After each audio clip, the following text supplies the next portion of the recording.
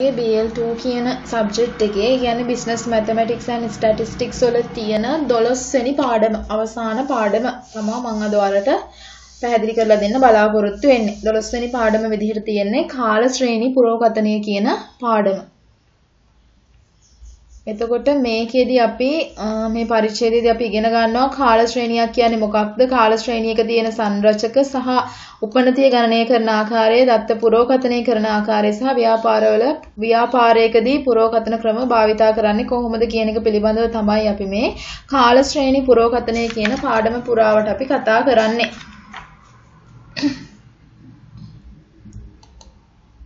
එතකොට කාල ශ්‍රේණියක් කාල ශ්‍රේණියකට අපි කියනවා ටයිම් සීරීස් කියලා. එතකොට සමහර විට සමහර යුනිවර්සිටිස් වල මේක මැනේජ්මන්ට් වල සහ බීකොම් කියන දෙකේම තියෙනවා මේ ටයිම් සීරීස් කියලා ඔයාලට පාඩමක්. එතකොට යම්කිසි කෙනෙක්ට දැන් ඒ ඉංග්‍රීසි වලින් තියෙන නෝට් එක සිංහලෙන් තේරුම් ගන්න එකේ අපහසුතාවයක් තියෙනවා නම් ඔයාලට මෙන්න මේ වීඩියෝ එක තුලින් මේක සිංහලෙන් සම්පූර්ණයෙන්ම තේරුම් ගන්න පුළුවන් වෙනවා. එතකොට ඒ ඔයාලගේ පාඩම් තියෙනවා නම් ඒවට සමගාමීවත් මේක ප්‍රයෝගී කරගන්න පුළුවන්.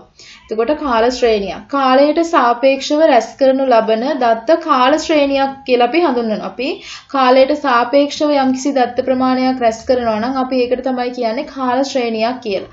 මේ දත්තවල හඳුනාගත හැකි ඕනෑම රටාවක් අනාගතය දක්වා ඉදිරියට යනු ඇතැයි උපකල්පනය කරලා එමගින් අපි පුරෝකථනයන් සිද්ධ කරනවා. එතකොට කාල ශ්‍රේණියකට උදාහරණයක් විදිහට අපිට ගන්න පුළුවන් පසුගිය මාසය සඳහා සෑම දිනකම කර්මාන්තශාලා නිමැවුම. හොඳද? පසුගිය වසර දෙකක් තුළ මාසික විකුණුම. ඒ කියන්නේ අපි කාලයට සාපේක්ෂව රැස් කරන දත්ත. එතකොට කාලයට සාපේක්ෂව මේ වෙද්දී අපි රැස් කරගෙන තියෙන දත්ත. එතකොට මේ දත්ත සියල්ලක්ම පසුගිය දත්තයන්නේ. පසුගිය වසර 10 සඳහා මුළු වාර්ෂික පිරිවැය. පසුගිය වසර 10 සඳහා පාරිභෝගික මිල දර්ශකයේ අගය. එතකොට මේ පසුගිය. එතකොට අපි කාලයට සාපේක්ෂව රැස් කරගන්න දත්තවලට තමයි අපි කියන්නේ කාල ශ්‍රේණියක් කියලා. එතකොට කාල ශ්‍රේණි වලට උදාහරණ තමයි අපි මේකෙදි කතා කරේ. කාල ශ්‍රේණි දත්ත එකම නියදියක් නිරීක්ෂණය කර උදාහරණයක් ලෙස රටක් තුල කාලයත් සමග විරකියා අනුපාතය වෙනස් වෙන එක. කියන්නේ එකම නියදියක් තමයි මේකෙදි නිරීක්ෂණය වෙන්නේ. නිශ්චිත කාල සීමාවක් තුල ජනගහනයෙන් කොටසක් තෝරගෙන එම දත්ත හරස් කළ දත්ත සමග අපිට සසඳන්න පුළුවන්. උදාහරණයක් ලෙස දැන් අපිට එක්තරා ඒ කියන්නේ එක්තරා පිනිෂ්ඨ කාලයක් ගත්තොත් ඒ කාලය තුලදී විවිධ රටවල් වල විරකියා මට්ටම අපිට සලකන්න පුළුවන්. ඒ කියන්නේ පසුගිය අවුරුදු පහ ගත්තොත් ශ්‍රී ලංකාවේ විරකියා තත්ත්වය කොහොමද? ඉන්දියාවේ විරකියා තත්ත්වය කොහොමද? අන්න ඒ විදිහට එක්තරා වේලාවක විවිධ හරස්කඩයන් එක්ක අපි සසඳනවා. මේ අනුව මෙම පරිච්ඡේදය මගින් අපි කාල ශ්‍රේණි පිළිබඳව තමයි සලකා බලන්නේ. කාල ශ්‍රේණි සංරචක the components of a time series time series වල components පිළිබඳව තමයි අපි කතා කරන්නේ. එතකොට කාල ශ්‍රේණියක් ගත්තහම කාල ශ්‍රේණියක සංරචක components හතරක් තියෙනවා. ඒ සංරචක හතර තමා පළවෙනි සංරචකයේ තමා උපනතිය, දෙවෙනි එක ඍතුමය චලන, ආර්තව චලන කියලා කියනවා. තුන්වෙනි එක චක්‍රීය චලන සහ හතරවෙනි එක අක්‍රමික අක්‍රීය චලන. එතකොට මේකෙදි අපි බලමු උපනතිය කියලා කියන්නේ මොකක්ද කියලා ඔයාලා මේ සරල අවබෝධයක් ඒ කියන්නේ දලා හදහසක් ඔයාලගේ ඔළුවේ තියෙන්න ඕනේ මොනවද මේ සංරචක හතර කියලා. එතකොට හතරක් තියෙනවා. උපනතිය, ඍතුමය චලන, චක්‍රීය චලන සහ අක්‍රමික චලන උපනතිය. එහෙම නැත්නම් ට්‍රෙන්ඩ් එක කියලා කියන්නේ මොකක්ද මේ උපනතිය කියන එක අපි අඳුන්වන අඳුනවන්නේ ඒ කියන්නේ උපනතිය කියන එක අපි අඳුරගන්නේ T කියන අකුර. උපනතිය කියන එක සංකේතවත් කරන්නේ T අකුරෙන්. එතකොට උපනතිය කියලා කියන්නේ ට්‍රෙන්ඩ් උපනතිය යනු කාල ශ්‍රේණියක දත්ත දිගු කාලීන වශයෙන් ගමන් කරන දිශාව. එතකොට අපි උපනතිය කියලා කියන්නේ අපි මේ ගන්න කාල ශ්‍රේණියේ දත්ත දිගු කාලීන වශයෙන් ගමන් කරන දිශාව. එතකොට මේ දේවල් ඔයාලට ඉස්සරහදී පැහැදිලි කරලා දෙන්නම්. එතකොට මෙතනදී මේකෙදි තියෙනවා කාල ශ්‍රේණියක් ප්‍රස්ථාරගත කිරීම මගින් උපනදියේ ස්වභාවය අපිට දැක ගන්න පුළුවන්. එය සමස්තයක් ලෙස වැඩි වෙනවද අඩු වෙනවද එහෙම නැත්නම් ස්ථාවරව තියෙනවද කියන එක අපිට අඳුන ගන්න පුළුවන් උපනදිය තුලින්. එතකොට මෙන්න කාලය මේ වර්ෂ දීලා තියෙනවා 2014 15 16 17 18 19 කියන වර්ෂ ටික දීලා තියෙනවා. එතකොට ශ්‍රම පැයකට ප්‍රතිදානයේ ඒකක කොච්චරක්ද කියලා කියන්නේ ඒකක සංඛ්‍යාව දීලා තියෙනවා. ඒකක ඒක පිරිවැය දීලා තියෙනවා. සේවක සංඛ්‍යාව දීලා තියෙනවා. හොඳද? එතකොට මෙතනදී 2014 වර්ෂයේදී ශ්‍රම පැයකට එක ශ්‍රම පැයකට ඒක 30ක් නිපදවනවා. ඒකක ඒක පිරිවැය රුපියලයි සේවකයෝ 100ක් ඉන්නවන්නේ ඒ විදිහට. දැන් එතකොට මෙතන මෙයා A ශ්‍රේණිය කියලා ගන්න පුළුවන් ශ්‍රම පැයකට ඒ කියන්නේ නිපදවන ඒකක ගණන A ඒක එක පිරිවැය අපිට B ශ්‍රේණිය කියලා ගන්න පුළුවන් සේවක සංඛ්‍යාව කියන එක අපිට C කාල ශ්‍රේණිය කියලා සලකන්න පුළුවන්. එතකොට A කාල ශ්‍රේණිය සැලකුවාම ශ්‍රම පැයකට ප්‍රතිදාන ඒක ප්‍රමාණය අඩුවීමේ උපනතියක් පෙන්වම් කරනවානේ. දැන් මේකෙදි A කියන කාල ශ්‍රේණිය ගත්තාම දැන් මේකෙදි තියෙන ශ්‍රම පැයකට එක පැයකට ඒක කොච්චරක් නිපදවනවද කියලානේ. එතකොට මේකේ කාලය වැඩි වෙන්න වැඩි වෙන්න කියන්නේ 14 15 16 කියලා කාලය ඉස්සරහට යන්න යන මේකෙදි අපිට පේනවා මේ ඒකක ප්‍රමාණය අඩුවීම උපනතියක් නේ 30යි 24යි 26යි ඒකක ප්‍රමාණය අඩුවීම උපනතියක් මෙතනදී පේන්නේ. ඒකක ප්‍රමාණය අඩු වෙලා. එතකොට මේ තමා මේ ලයින් එක ඇඳලා තියෙනවා. මේ ලේබර් කියන්නේ දැන් මේකෙදි ශ්‍රම පැයකට ඒක ප්‍රමාණයත් එක්ක අවුරුදු ගණනත් එක්ක මේ 2014 දී තියෙනවා 30ක් 2015 දී තියෙනවා මෙන්න 24ක් ඒ විදිහට ලයින් එක. එතකොට අපිට මේකේ පේන්නේ මෙන්න මේ විදිහට අඩුවීමක් නේ. අඩු වෙලා අඩු වෙන මෙතනින් පටන් අරගෙන අවසානයේ නතර වෙන්නේ මෙතනින්. එතකොට අඩු වෙලා මේ මට්ටමේ ඉඳන් මේ මට්ටමට මෙතන ඉඳන් මෙතනට ඇවිල්ලා කියන්නේ අඩුවීමක් තමයි මෙතනදී පෙන්වුම් කරන්නේ. එතකොට ඊළඟට අපිට ගන්න පුළුවන් B කාල ශ්‍රේණිය නම් මේකේක පිරිවැය වැඩිවීමේ උපනතියක්. B කාල ශ්‍රේණිය ගත්තාම මෙන්න B කාල ශ්‍රේණියේදී ඒකේක පිරිවැය එන්න එන්න වැඩි වෙලා. 2014 දී ඒකේක පිරිවැය 1යි 15 දී 1.08යි 1.2යි. ඒ විදිහට මේකේදී පිරිවැය මෙන්න මේ විදිහට වැඩි වෙලා. එතකොට මේ විදිහට ඇඳලා දෙන පිරිවැය වැඩි වෙලා. මෙතන තිබ්බ පිරිවැය මේ 19 වෙනකොට මෙතනටක් ඇවිල්ලා. මේකේදී පිරිවැය වැඩි වෙලානේ.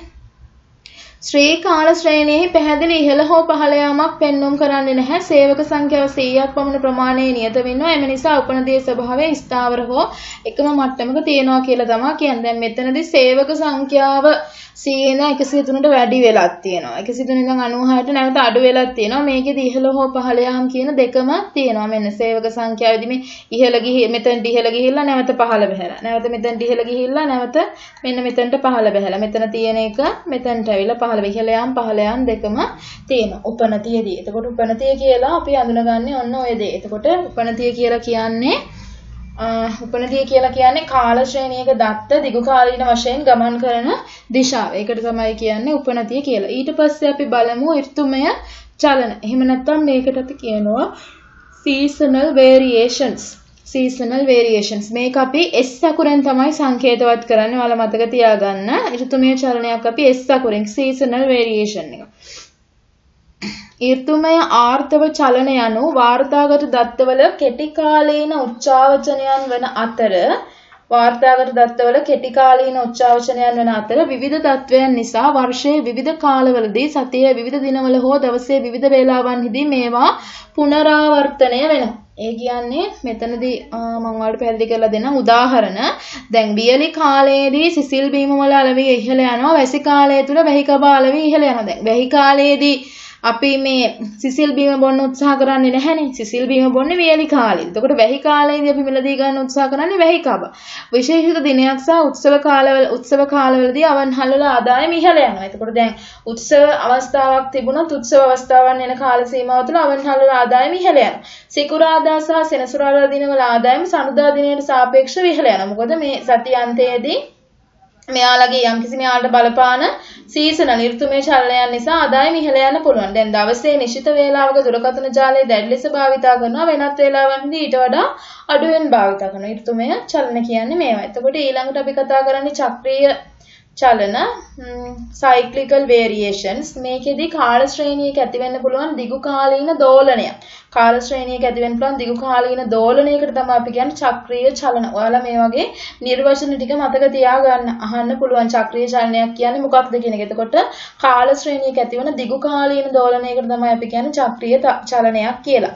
ව්‍යාපාර තුල චක්‍රීක චලනයන් ආර්ක චක්‍ර සමග පොදුවේ සම්බන්ධ වෙන අතර ආර්කයේ අඛණ්ඩ උත්පාදයන් සහ අවපාතයන් සමග ව්‍යාපාරයේ ආදායම විචලනය වෙනවා. ආර්ක චක්‍රයක් වසර කිහිපයක් පවතින්න පුළුවන් චක්‍රීය විචලනයේ ඍතුමය චලන වලට වඩා දිගු කාලීන වෙනවා. එතකොට මේකෙදී චක්‍රීය චලනයන් පිළිබඳව ගණනය කිරීමක් අපෙන් අපේක්ෂා කරන්නේ නැහැ. චක්‍රීය චලනය භාවිතා කරන්නේ නැහැ. එතකොට අපිට ගණනය කරන්න වෙන්නේ මේ කාලශ්‍රේණි කියන පාඩම පුරාවටම උපනතිය සහ ඍතුමය චලනය. උපනතිය ට්‍රෙන්ඩ් එකයි සීසනල් වේරියේෂන් එකයි තමයි අපිට ගණනය කරන්න වෙන්නේ. T සහ S තමයි ගණනය කරන්න වෙන්නේ. අපිට මේ සයික්ලිකල් වේරියේෂන්ස් වලදී අපිට මේකෙදි ගණනය කිරීම කරන්නේ නැහැ. නමුත් ඔයාලා නිර්වචනය මතක තියාගන්න කාල ශ්‍රේණියක ඇති වෙන්න පුළුවන් දිගු කාලීන දෝලනයන් වලට තමයි කියන්නේ චක්‍රීය චලන කියලා. එහෙම නැත් ඊළඟට අපි කතා කරනවා අවසාන අවසාන ලක්ෂණය අවසාන සංරචකය සසම්භාවී එහෙම නැත්නම් අක්‍රමික චලන. සසම්භාවී සහ අක්‍රමික චලනයන් කියලා කියන්නේ සසම්භාවී හේතුන් මත කාල ශ්‍රේණියක සිදුවන අනපේක්ෂිත චලනයක්. සසම්භාවී හේතුන්. සසම්භාවී හේතුවක් මත කාල ශ්‍රේණියක් තුළ සිදුවන අනපේක්ෂිත චලනයකට තමයි අපි කියන්නේ සසම්භාවී චලනයන් කියලා. සසම්භාවී විචලයන් නිදසුන් වශයෙන් විශේෂයෙන් සුලිසුලන් හෝ සුලිසුලඟක් එහෙම නැත්නම් දරුණු කාලගුණික තත්ත්වයක්, දේශපාලනික වෙනස් වීම ආදී දේවල් දක්වන්න පුළුවන්. එතකොට කාලගුණික ආර්ථික තත්ත්වයන් සහ දේශපාලනික වෙනස් වීම් හේතුවෙන් අනපේක්ෂිත චලනයන් සිදු වෙනවා නම් අපි ඒකට කියනවා අක්‍රමික චලන එහෙම නැත්නම් සසම්භාවී චලන. ඔයාලා මේ හතර නිර්වචන ටික හොඳටම මතක තියාගන්න. මෙම චලනයන් චක්‍රීක චලන මෙන්ම ගණිතමය ආකෘති සඳහා භාවිතා නොකරන අතරම මෙවැනි චලනයන්ද පුරෝගතනය කිරීම කරන්න බෑ. මේවා අපිට පුරෝගතනය කිරීම කරන්න බෑ. මේ දේවල් වලදී අපි ගණනය කිරීම කරන්නේ නැහැ. අපි ගණනය කරන්නේ උපනතිය සහ ඍතුමය සංරචක. එතකොට අපි දැන් පළවෙනියට බලමු කොහොමද උපනතිය ගණනය කරන්න කියලා. උපනතිය ගණනය කිරීම calculating the trend. කාල ශ්‍රේණි තුල කාල ශ්‍රේණි තුල ඍතුමය චලන සහ උපනති චලනයන් ප්‍රධාන වශයෙන් අන්තර්ගත වී ඇති බව කාල ශ්‍රේණි දත්ත අධ්‍යයනයේදී අපිට පෙනී යනවා. කාල ශ්‍රේණියක් තුල ඍතුමය චලන සහ උපනති චලනයන් තමයි ප්‍රධාන වශයෙන්ම අන්තර්ගත කරන්නේ. එතකොට අපිට මේකෙදි මේ කාල ශ්‍රේණි පුරෝගතනය කියන මේ ඔයාලගේ පාඩම පුරාවටත් ගණනය කිරීම කරන්න තියෙන්නේ උපනතිය ගණනය කරන්න තියෙනවා සහ ඍතුමය චලනය සීසනල් වේරියේෂන් එකේ S ගණනය කරන්න තියෙනවා. එතකොට මේකෙදි අපි බලමු උපනදිය සහ ආර්ථව චලන. පසුගිය වසර හතර තුළ සංචාරක නියෝජිතයන්ගේ සමාගමක් විසින් සේවය සපයන ලද ගනුදෙනුකරුවන්ගේ සංඛ්‍යාව පහත දැක්වෙන කාලශ්‍රේණි ප්‍රස්ථාරයෙන් දක්වනවා. මෙන්න මේ කාලශ්‍රේණි ප්‍රස්ථාරයෙන් දක්වනවා. ඒ කියන්නේ පසුගිය අවුරුදු 4 ඇතුලේ සංචාරක නියෝජිතයන්ගේ සමාගමක් විසින් සේවයේ සපයපු යාලා සේවයේ සපයපු ගනුදෙනුකරුවන්ගේ සංඛ්‍යාව තමයි මේ කාලසේනි ප්‍රස්ථාරයෙන් අපි දක්වලා තියෙන්නේ. එතකොට මේකෙදි 2010 වර්ෂයේදී පළවෙනි කාර්තුවේදී කස්ටමර්ස්ලා මෙතන සාමාන්‍යයෙන් 8කට වගේනේ 8කට වගේ සේවය සපයලා දෙනවා. දෙවෙනි කාර්තුව වෙනකොට මෙතන දෙන්නෙක්ට වගේ සේවය සපයලා තිනවා. ඒ විදිහට තුන්වෙනි කාර්තුවේදී මෙන්න මෙතන 8ක් වගේ 8කට වගේ දැන් මෙතනදී පළ සෝරි පළවෙනි කාර්තුවේදී අපිට ගන්න වෙන්නේ මෙතන 6කට වගේනේ. ඒ විදිහට ඔයාලා දල වශයෙන් මේක මේ විදිහට දීලා තියෙනවා. හතරවෙනි කාර්තුවේ. එතකොට 2011 මේ පළවෙනි කාර්තුවේ දෙවෙනි කාර්තුවේ ඒ විදිහට ක්වාටර්ස් කියලා කියන්නේ කාර්තුව. එතකොට මෙම උදාහරණයට අදාළ කාල ශ්‍රේණියෙහි විශාල වශයෙන් ඍතුමය උච්චාවචනයන් පවතින බව පෙන්වන අතරම ධන උපනදියක් පෙන්වුම් කරනවා. මේකෙදි විශාල වශයෙන් ඍතුමය උච්චාවචනයන් තියෙනවානේ. එතකොට ඒ කාලවල දැන් මෙතනදී වැඩි, මේ කාර්තුවේදී අඩු. දැන් මේ කාර්තුවේදී වැඩි, මේ කාර්තුවේදී අඩු, මේ මේ කාර්තුවේදී අඩුයි. හොඳටම අඩු වෙලා තියෙනවා. එතකොට මෙතනදී වැඩි වෙලා තියෙනවා. තුන්වෙනි කාර්ය දෙවෙනි කාර්ය 2012 දෙවෙනි කාර්යයට සාපේක්ෂව තුන්වෙනි කාර්යයේදී ඉතා වැඩි පිරිසකට සේවය සපයලා තියෙනවා. ඒක තමයි අපිට මේක තුලින් පේන්නේ. එතකොට උපනතිය ලබා ගැනීම. කාල ශ්‍රේණි විශ්ලේෂණයේ අප සැලකිලිමත් වන ප්‍රධාන ගැටලුව වන්නේ උපනතිය සහ ඍතුමය චලනයන් හඳුනාගන්නේ කොහොමද කියන එක. එතකොට අපි මේ උපනතිය ගණනය කරන ප්‍රධාන ක්‍රම දෙකක් තියෙනවා. කාල ශ්‍රේණි ප්‍රස්ථාරය තුලිනුත් අපිට උපනතිය ගණනය කරන්න පුළුවන්. රේඛීය ප්‍රතිපායන විශ්ලේෂණය තුලිනුත් ගණනය කරන්න පුළුවන්. එතකොට කාල ශ්‍රේණි ප්‍රස්ථාරය අපි ගත්තාම කාල ශ්‍රේණි ප්‍රස්ථාරයක් හොඳින් නිරීක්ෂණය කරනකොට ඒ සඳහා වඩාත් ගැළපෙන රේඛාවක් අපි නිර්මාණය කරගන්නවා. එතකොට දැන් මේකෙදි උපනතිය ගන්න කාල ශ්‍රේණි ප්‍රස්ථාරයකදී රේඛාවක් නිර්මාණය කරගෙන උපනතිය ගන්නවා. රේඛීය ප්‍රතිපායන විශ්ලේෂණය යොදා ගන්නත් පුළුවන්. ඒ වගේම තමයි මේ උපනතිය ලබා ගන්න චල මධ්‍යක ක්‍රමය භාවිතා කරන්න පුළුවන්. එතකොට මේ ක්‍රම තුනටම අපිට උපනතිය ලබා ගන්න පුළුවන්. කාල ශ්‍රේණි ප්‍රස්ථාරයක් තුළින් ගන්න පුළුවන් රේඛීය ප්‍රතිපායන විශ්ලේෂණයකින් පුළුවන් චල මධ්‍යක ක්‍රමයකින් අපිට උපනතිය ලබා ගන්න පුළුවන්. එතකොට අපි ඔයාලගේ මේ කාල ශ්‍රේණි පුරෝකතනය කියන පාඩම පුරාවටම මේකෙදි කතා කරන්නේ අපි චල මධ්‍යක ක්‍රමය භාවිතා කරලා කොහොමද උපනදිය ගණනය කරන්න කියන එක. චල මධ්‍යක ක්‍රමය භාවිතා කරන එකෙන් උපනදිය ගණනය කරන්නේ කොහොමද කියන එක පිළිබඳව තමයි මේ පාඩම පුරාවට කතා කරන්න. කියන්නේ මේකෙදි අපි මෙතනදී දැන් මම ඔයාලට පැහැදිලි කරන්නේ චල මධ්‍යක ක්‍රමයෙන් කොහොමද අපි උපනදිය ගණනය කරන්න කියලා. චල මධ්‍යක ක්‍රමය. මේකට කියනවා moving averages කියලා. එතකොට මේකෙදි චල මධ්‍යක කියලා කියන්නේ නිශ්චිත කාල පරිච්ඡේදයක ප්‍රතිඵලවල සාමාන්‍යයක් නේ. චල මධ්‍යකයක් කියලා අපි ගන්නෙ යම්කිසි නිශ්චිත කාල පරිච්ඡේදයක් ගන්නවා. ඒ කාල පරිච්ඡේදයක ප්‍රතිඵලවල සාමාන්‍යයක් තමයි අපි චල මධ්‍යක කියලා ගණනය වෙන්නේ. චල මධ්‍යක ගණනය කිරීම මගින් උත්සාහ කරනු ලබන්නේ කාල ශ්‍රේණියේ මුල් දත්වල ඇති ඍතුමය චලනයන් ඉවත් කිරීම.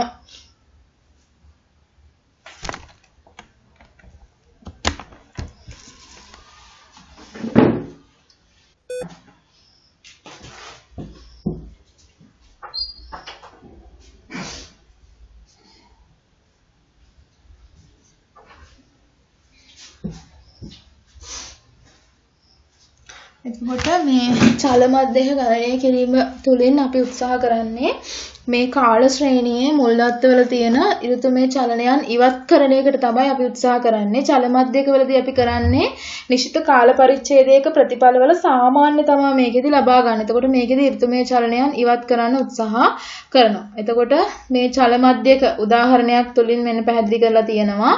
ඔත්තේ ප්‍රතිඵල ගණනක චල මධ්‍යක ගණනය කිරීම. එතකොට අපිට යම්කිසි අවස්ථාවකදී ඔත්තේ ප්‍රතිඵල ගණනක් තියෙනවා නම් ඒ ඔත්තේ ප්‍රතිඵල ගණනක චල මධ්‍යක ගණනය කරන්නේ කොහොමද කියන එක පිළිබඳව තමයි මෙතනදී පැහැදිලි කරලා තියෙන්නේ 2010 වර්ෂයේ විකුණුම එක 390යි 2011 380යි 2012 460යි 13 450යි මේ විදිහට දීලා තියෙනවා වාර්ෂික විකුණුම් දත්ත සඳහා වර්ෂ 3ක චල මධ්‍යක ගණනය කරන්න.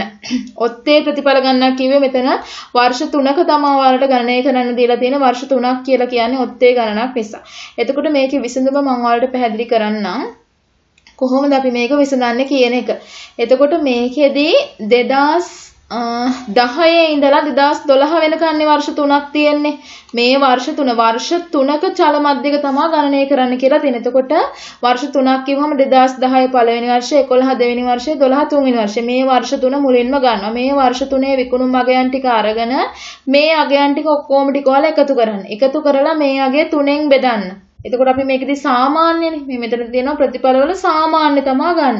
එතකොට මේ වර්ෂ 3ක චල මධ්‍යයක් ගණනය කරන්න කියන්නේ පළවෙනි අවුරුදු තුනේ දත්තයන් ටික එකතු කරලා 3ෙන් බෙදන්න. එතකොට එනවා අංශයක 410 කියන්නේ 390යි 380යි 460යි එකතු කරන්න. එතකොට 1230ක් එනවා.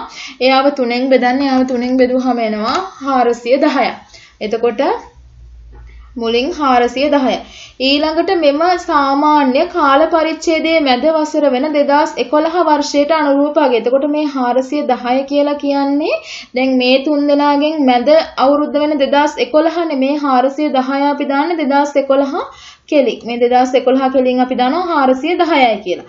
ඊළඟට B වලදී ඉහත පරිදිම අපි මේකෙදි B වලදී ඊළඟට අපි ගන්නවා මේ විදිහටම. දැන් අපි මේ A වල ගණනය කරා පළවෙනි අවුරුදු තුන අරගෙන තුනෙන් බෙදුවා. එතකොට B වලට යනකොට යන්නේ B වලදී අපි මේ 2010 වර්ෂය අයින් කරනවා. 2010 පළවෙනි අවුරුද්ද අයින් කරලා ඊළඟට තියෙන අවුරුදු තුන තමයි ගන්නෙ. 2011යි 2012යි 2013යි කියන මේ අවුරුදු තුන ගන්නවා. මේ අවුරුදු තුන අරගෙන මේ අවුරුදු තුන තුනෙන් බෙදනවා. එතකොට 2011 තියෙනවා 380ක් 2012 දී තියෙනවා 460ක් 2013 දී තියෙනවා 450ක්. එතකොට මේ අවුරුදු තුන එකතු කරලා මෙයාව තුනෙන් බෙදනවා. එතකොට 1390 තුනෙන් බෙදුවහම එනවා 430ක්. එතකොට මේ 430 කියලා කියන්නේ දැන් මේ අවුරුදු තුනේ මැද්දින් 2011 12 13 අවුරුදු තුනේ මැද්දේ ඉන්නේ 12. හොඳද? එතකොට මේ අවුරුදු තුනනේ ගත්තේ. මේ අවුරුදු තුනේ මැද්දෙන් 2012. දැන් මේ අවුරුදු මුල් අවුරුදු තුන ගත්ත නිසා තමයි 11 වුනේ. දැන් මේ අවුරුදු තුනේ මැද්දෙන් 2012. එතකොට මේ 430 කියන අගය දාන්නේ 2012ට අනුරූපව. එතකොට ඊළඟට C එකේදීත් අපි විසඳන්නේ ඒ විදිහටම තමයි. දැන් මේ ස්ටෙප් එකම තමයි අපි ඉස්සරහට කරගෙන කරගෙන යන්නේ. මෙන්න මේ විදිහට ඔයාලට අවසාන අගයන් සලමත් දෙක හොයලා තියෙනවා. දැන් 2010 විකුණුම් 390යි 11 380යි 12 460යි 13 450යි 14 470යි 15 440යි 16 500. මේ විදිහට විකුණුම් ටික දීලා තියෙනවා. ඊට පස්සේ ඔයාලට කියන්නේ වර්ෂ 3ක චලමත් දෙක හොයන්න කියලා. ඒ කියන්නේ මේ ගාන තුල කියලා තියෙන වර්ෂ 3ක චලමත් දෙක හොයන්න කියලා. ඒක නිසා අපි මේකේ ගන්න අවුරුදු 3ක්. එතකොට මේකෙදි මුලින්ම පළවෙනි අවුරුදු තුන ගන්නවා. පළවෙනි අවුරුදු තුනේ අගයන් ටික එකතු කරලා එයාව බෙදනවා තුනෙන්. එතකොට පළවෙනි අවුරුදු තුනේ අගයන් ටික එකතු කරපුවාම ඔයාලා එකතු කරන්න ඕනේ 390යි 380යි 460යි. ඒ අගයන් තුන එකතු කරන්න. එතකොට ආන්සර් ගෙනවා 1230. එතකොට මේකෙදි මම ඔයාලට මේ පැහැදිලි කරන ගමන්න මාත් මේ දේවල් මගේ කැල්කියුලේටර් එක තියාගෙන හදනවා. එතකොට ඒ හදන්නේ ඔයාලටත් එතකොට මේ ඒ කාලය තුල ඔයාලත් මේ වීඩියෝ එක බලන එක විතරක් කරන්න එපා. ඔයාලත් කැල්කියුලේටර් එක අරගෙන මේ කැල්කියුලේෂන්ස් කරන්න. එතකොට මේ වීඩියෝ එක ඇතුලේ ඔයාලට හොඳටම වෙලාව ප්‍රමාණවත් ඒ දේත් කරන්න. මොකද මමත් කරන ගමන් තමයි ඔයාලට කියලා දෙන්නේ. එතකොට දැන් මේකෙදි මේ අවුරුදු තුනේ එකතු එකතු කරන්න 390යි 380යි 460යි. මේ තුන් දෙනා එකතු වෙනවා 1230ක් කියලා. එතකොට මේ 1230 තුනෙන් බෙදන්න ඕනේ. මොකද මෙතන චල මධ්‍යක කියන්නේ දැන් මෙතන චල මධ්‍ය ක්‍රමයේදී අපි ගන්නේ සාමාන්‍යයක්නේ. වර්ෂ 3ක වර්ෂ 3කගේ එකතු කරන්න තුනේගේ එකතු කරාම 1230ක් එනවා. ඒක තුනෙන් බෙදන්න. එයාව තුනෙන් බෙදුවම ඔයාලට ගන්න පුළුවන් ආන්සර් එක 410ක් කියලා. 1230 බෙදීම 3 ආන්සර් එක මෙන්න 410යි හොඳද? එතකොට මේ 410 2011 කෙලින් දැම්මේ ඇයි කියලා කෙනෙක්ට ප්‍රශ්නයක් දෙන්න පුළුවන්. මම මේක කවතාවකදීත් කිව්වා. මම මෙතනදිත් ඔයාලට කියන්නම්. මේ අවුරුදු තුනේ මැද්දේ ඉන්නේ 2011. එයාට අනුරූපව තමයි අපි දාන්නේ 410. ඊළඟට අපි ඊළඟ අවුරුදු තුන ගන්න මේ පළවෙනියව අයින් කරනවා. මෙයාව අයින් කරනවා. අයින් කරලා මෙන්න මේ අවුරුදු තුන ගන්නවා. මේ අවුරුදු තුන එකතු කරන 380යි මේ 380යි 460යි 450 එකතු කරන. එතකොට එනවා 1290ක්. ඊළඟට එයාම බෙදනවා තුනෙන් එතකොට එනවා 430ක්. එහෙනම් මේ අවුරුදු තුනේ දැන් පළවෙනි අයින් කරානේ මේ අවුරුදු තුනේ මැද්ද ඉන්නේ 2012. එතකොට 2012ට අනුරූපව තමයි අපි මේ 430 කියන එක දාන්නේ. ඊළඟට මෙන්න මෙයාව අයින් කරනවා. මෙයාව අයින් කරලා ඊළඟ අවුරුදු තුන ගන්නවා. 460යි 450යි 470යි එකතු කරන්න. එතකොට එනවා 1380ක්. එයාව තුනෙන් බෙදනකොට එනවා 460. ඊට පස්සේ දැන් මේ දෙන්නව අයින් කරා ඊළඟට ගත්තේ අපි මේ තුන් දෙනා. එතකොට මෙයාලගෙන් මැද්දේ ඉන්නේ 2013. ඒක නිසා 460 දාන්න 2013ට අනුරූපව. ඔන්න ඔය විදිහට තමයි කරන්නේ. එතකොට ඊළඟට මේක අයින් කරන්න මෙන්න මෙයාව. ඊළඟට ගන්නේ 450යි 470යි 440යි මේ තුන්දෙනා. එකතු කරන්න 1360යි දෙකෙන් බෙදන්න 453 එතකොට මේ තුන්දෙනානේ මේ තුන්දෙනාට අනුරූපව මැද්දෙන්නේ 2014 ඔයාලට ඒක බලන්න ඕනෙත් නැහැ. ඔයාලා පළවෙනි ස්ටෙප් එක හරියට කරා නම් ඊළඟට ඔයාලා පිළිවෙලට යටින් යටට දාගෙන යන්න. වරදින්නේ නැහැ. එතකොට මෙයාලට අනුරූප වෙන්නේ 2014 ඒකයි 453 2014ට එන්නේ. ඊළඟට මේකෙදි අයින් වෙන්නේ මෙන්න මෙයාව අයින් වෙනවා. අයින් වෙනකොට ඉතුරු වෙනවා මෙන්න මේ තුන් දෙනා. මේ තුන් දෙනාව එකතු කරන්න. එකතු කරලා තුනෙන් බෙදන්න. බෙදුවම 470 2015 කෙලින් තමයි දාන්න. මොකද මේ තුන් දෙනානේ. එතකොට 2015 තමයි යාළගේ මැද්දේ ඉන්නේ. එතකොට 15 කෙලින් දාන්න 470. කායි මෙතන වර්ෂ නැහැ. එහෙනම් මෙන්න මේක තමයි මේකේ ආන්සර් එක වෙන්නේ. එතකොට ඔයාලා අවුරුද්දක් ඇර ඇර තමයි ගන්න ඕනේ. එතකොට පළවෙනි එකේ ජල මධ්‍යක වෙනකොට පළවෙනි අවුරුදු තුනේ හොයන තුනෙන් බෙදලා ඒ තුන් දෙනාගේ මැදාගේ දාන්න. හරිද? ඊට පස්සේ ඊළඟ එකේ හොයනකොට පළවෙනි අවුරුද්ද අයින් කරන්න. ඊළඟට පිළිවෙලට දෙක තුන හතර අවුරුදු ගන්න. ඊළඟට තුන්වෙනියට හොයනකොට දෙවෙනි අවුරුද්ද අයින් කරන්න. තුන හතර පහ අවුරුදු ගන්න. අන්න ඒ විදිහටයි චල මධ්‍යක ගණනය කරන්නේ. මං හිතනවා ඔයාලට පැහැදිලි වෙන්නේ නැති කියලා. ඔයාලා මේ වීඩියෝ එක දැන් ඔයාලා මේක බලන වෙලාවේ මේක නිකම්ම බලාගෙන ඉන්න එපා. ඔයාලා කැල්කියුලේටර් එක පාවිච්චි කරලා මේ ගණන් හදන්න. මේක හැදුවේ නැත්නම් කෙනෙක්ට හිතෙන්න පුළුවන් කෙනෙක්ට මේක සංකීර්ණ වෙන්න පුළුවන්. අන්න ඒක නිසා මේ ගණන් ටික ඔයාලා මං හදනකොටම හදාගෙන යන්න. පහට සඳහන් කරුණු සැලකිල්ලට ගන්න කියලා තියෙනවා. මේකෙදි කියනවා මුල් කාල ශ්‍රේණියේ 2000 10 ඉඳලා 16 දක්වා අවුරුදු තියෙනවා 1 2 3 4 5 6 7 දත්ත 7ක් තියෙන අවුරුදු 7ක. නමුත් චල මධ්‍ය අගයන් සඳහා ලැබෙන්නේ 2011 සිට 15 දක්වා අගයන් 5ක් පමණයි. එතකොට මේකෙදි චල මධ්‍යක වලට හම්බුනේ 2011 ඉඳලා 2015 දක්වා අගයන් 5ක්. මෙතන තියෙන්නේ අගයන් පහක්. හොඳද? කාල ශ්‍රේණියේ මුල් දත්තවලට වඩා ගණනය කරන ලද චල මධ්‍යක නිරීක්ෂණය කිරීමෙන් විකුණුම් සමස්තයක් ලෙස වැඩිවීමේ උපනතියක් පවතින බව අපිට නිරීක්ෂණය කරන්න පුළුවන්.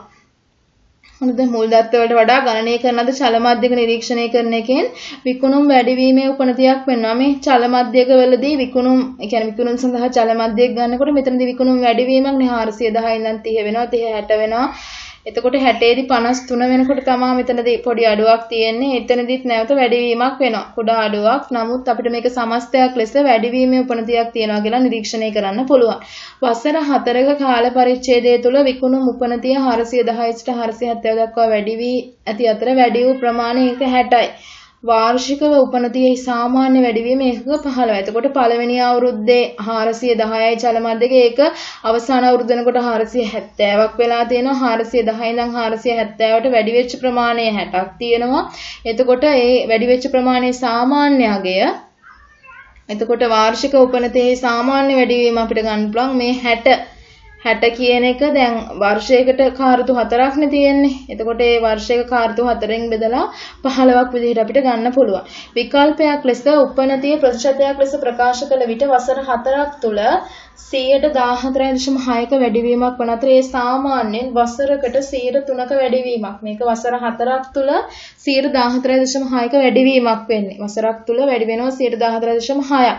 දැන් මේ අවුරුද්දේ තියෙන්නේ 430යි පළවෙනි අවුරුද්දේ තියෙන්නේ 410යි. එතකොට මෙතන 20ක් වැඩි වෙනවානේ. 430කට 20ක් වැඩි වෙනවා නම් 100කට. අන්න ඒ විදිහට බලනකොට 114.6ක වැඩිවීමක් තියෙනවා. සාමාන්‍යයෙන් වසරකට ගත්තාම දැන් වසර 4ක් තුල 14.6ක ප්‍රතිශතයක් තියෙනවා කියලා කියන්නේ එක වසරකට ගත්තාම ඒක හතරෙන් බෙදලා සාමාන්‍යයෙන් 103ක වැඩිවීමක් තියෙනවා. එතකොට ඔයාලා චල මධ්‍යක ගණනය කරන්න කියනකොට චල මධ්‍යක මෙන්න මේ විදිහට නිවැරදිව ගණනය කරන්න.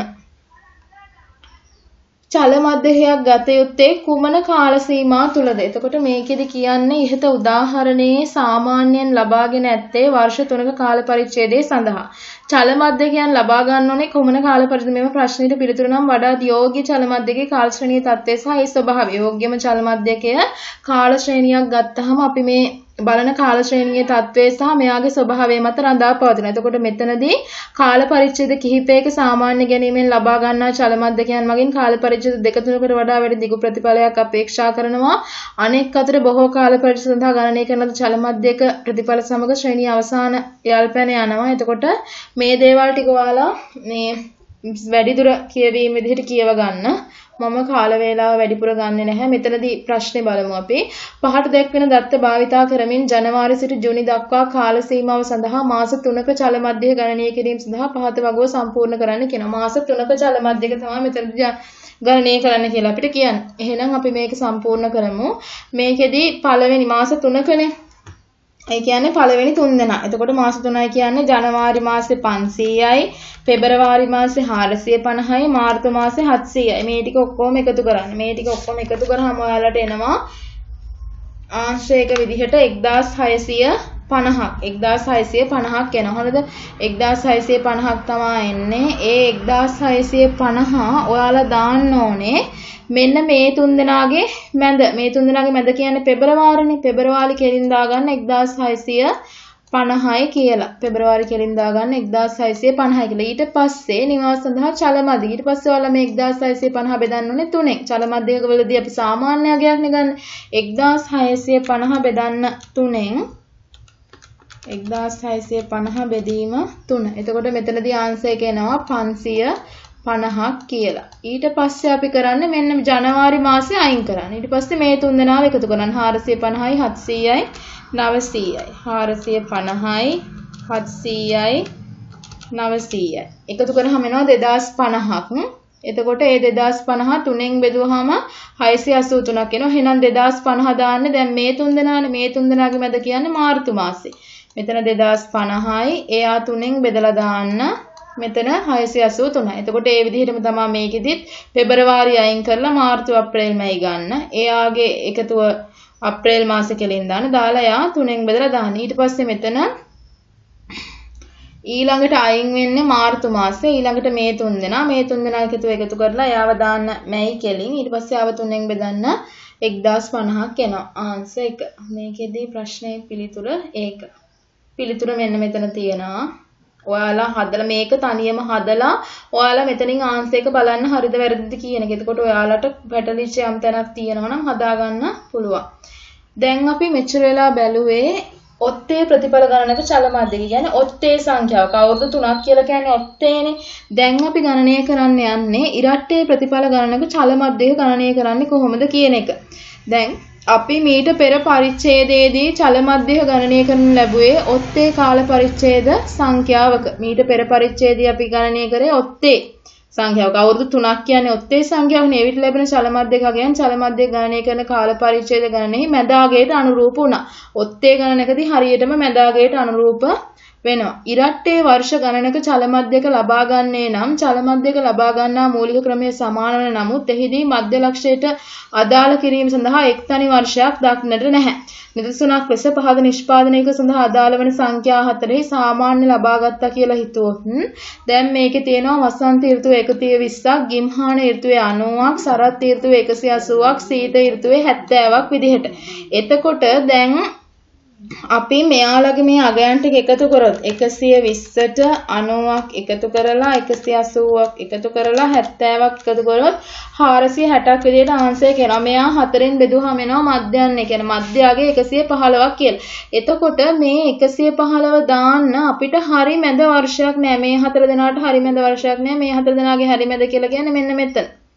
එතකොට ඒ කෙලින් තමයි අපි මධ්‍යන්නේ දාන්නේ. අර ඉරත් දැන් ඔත්තේ සංඛ්‍යාවක් තියෙනකොට අවුරුදු 3ක් තියෙනකොට මැද එක්කෙනෙක් ඉන්නවා මැද වර්ෂයක් ඉන්නවා. දැන් ඉරට්ටේ ගණනක් එනකොට මෙයාට අනුරූප වෙන මැදාගයක් නැහැ. ඒක නිසා දැන් මේකෙදි වසන්ත ඍතුවයි ගිම්හාන ඍතුවයි මැද මේ දෙන්නට පස්සේ මැද සරත් ඍතුවයි සීත ඍතුවයි ඊට පස්සේ. එතකොට මේ දෙන්න මැද මෙන්න මෙතන තම මෙතනට අනුරූපව මේ මැද්දේ තමයි අපි මධ්‍යන්නේ 115යි කියලා දාන්නේ. එතකොට මේකෙදි චල මධ්‍යකගේ අනුරූප වන්නේ ගිම්හාන සහ සරත් කාලයන් දෙක අතර මැද අගයට. එතකොට මේකෙදි අපි චල මධ්‍යකයේ 115යි කියලා ගත්තා. මෙයාව අනුරූප වෙන්නේ ගිම්හාන සහ සරත් කියන කාලයන් දෙක අතර මැද. එතකොට හතරක්. දැන් මේක අපි හෙව්වේ හතරකනේ. හතරක් කියන්නේ ඉරට්ටේ සංඛ්‍යාව. ඉරට්ටේ සංඛ්‍යාවකදී මේ එක් තනි වර්ෂයක් දක්නට නොමැත කියන්නේ එක. එක තනි වර්ෂයක් නැහැ.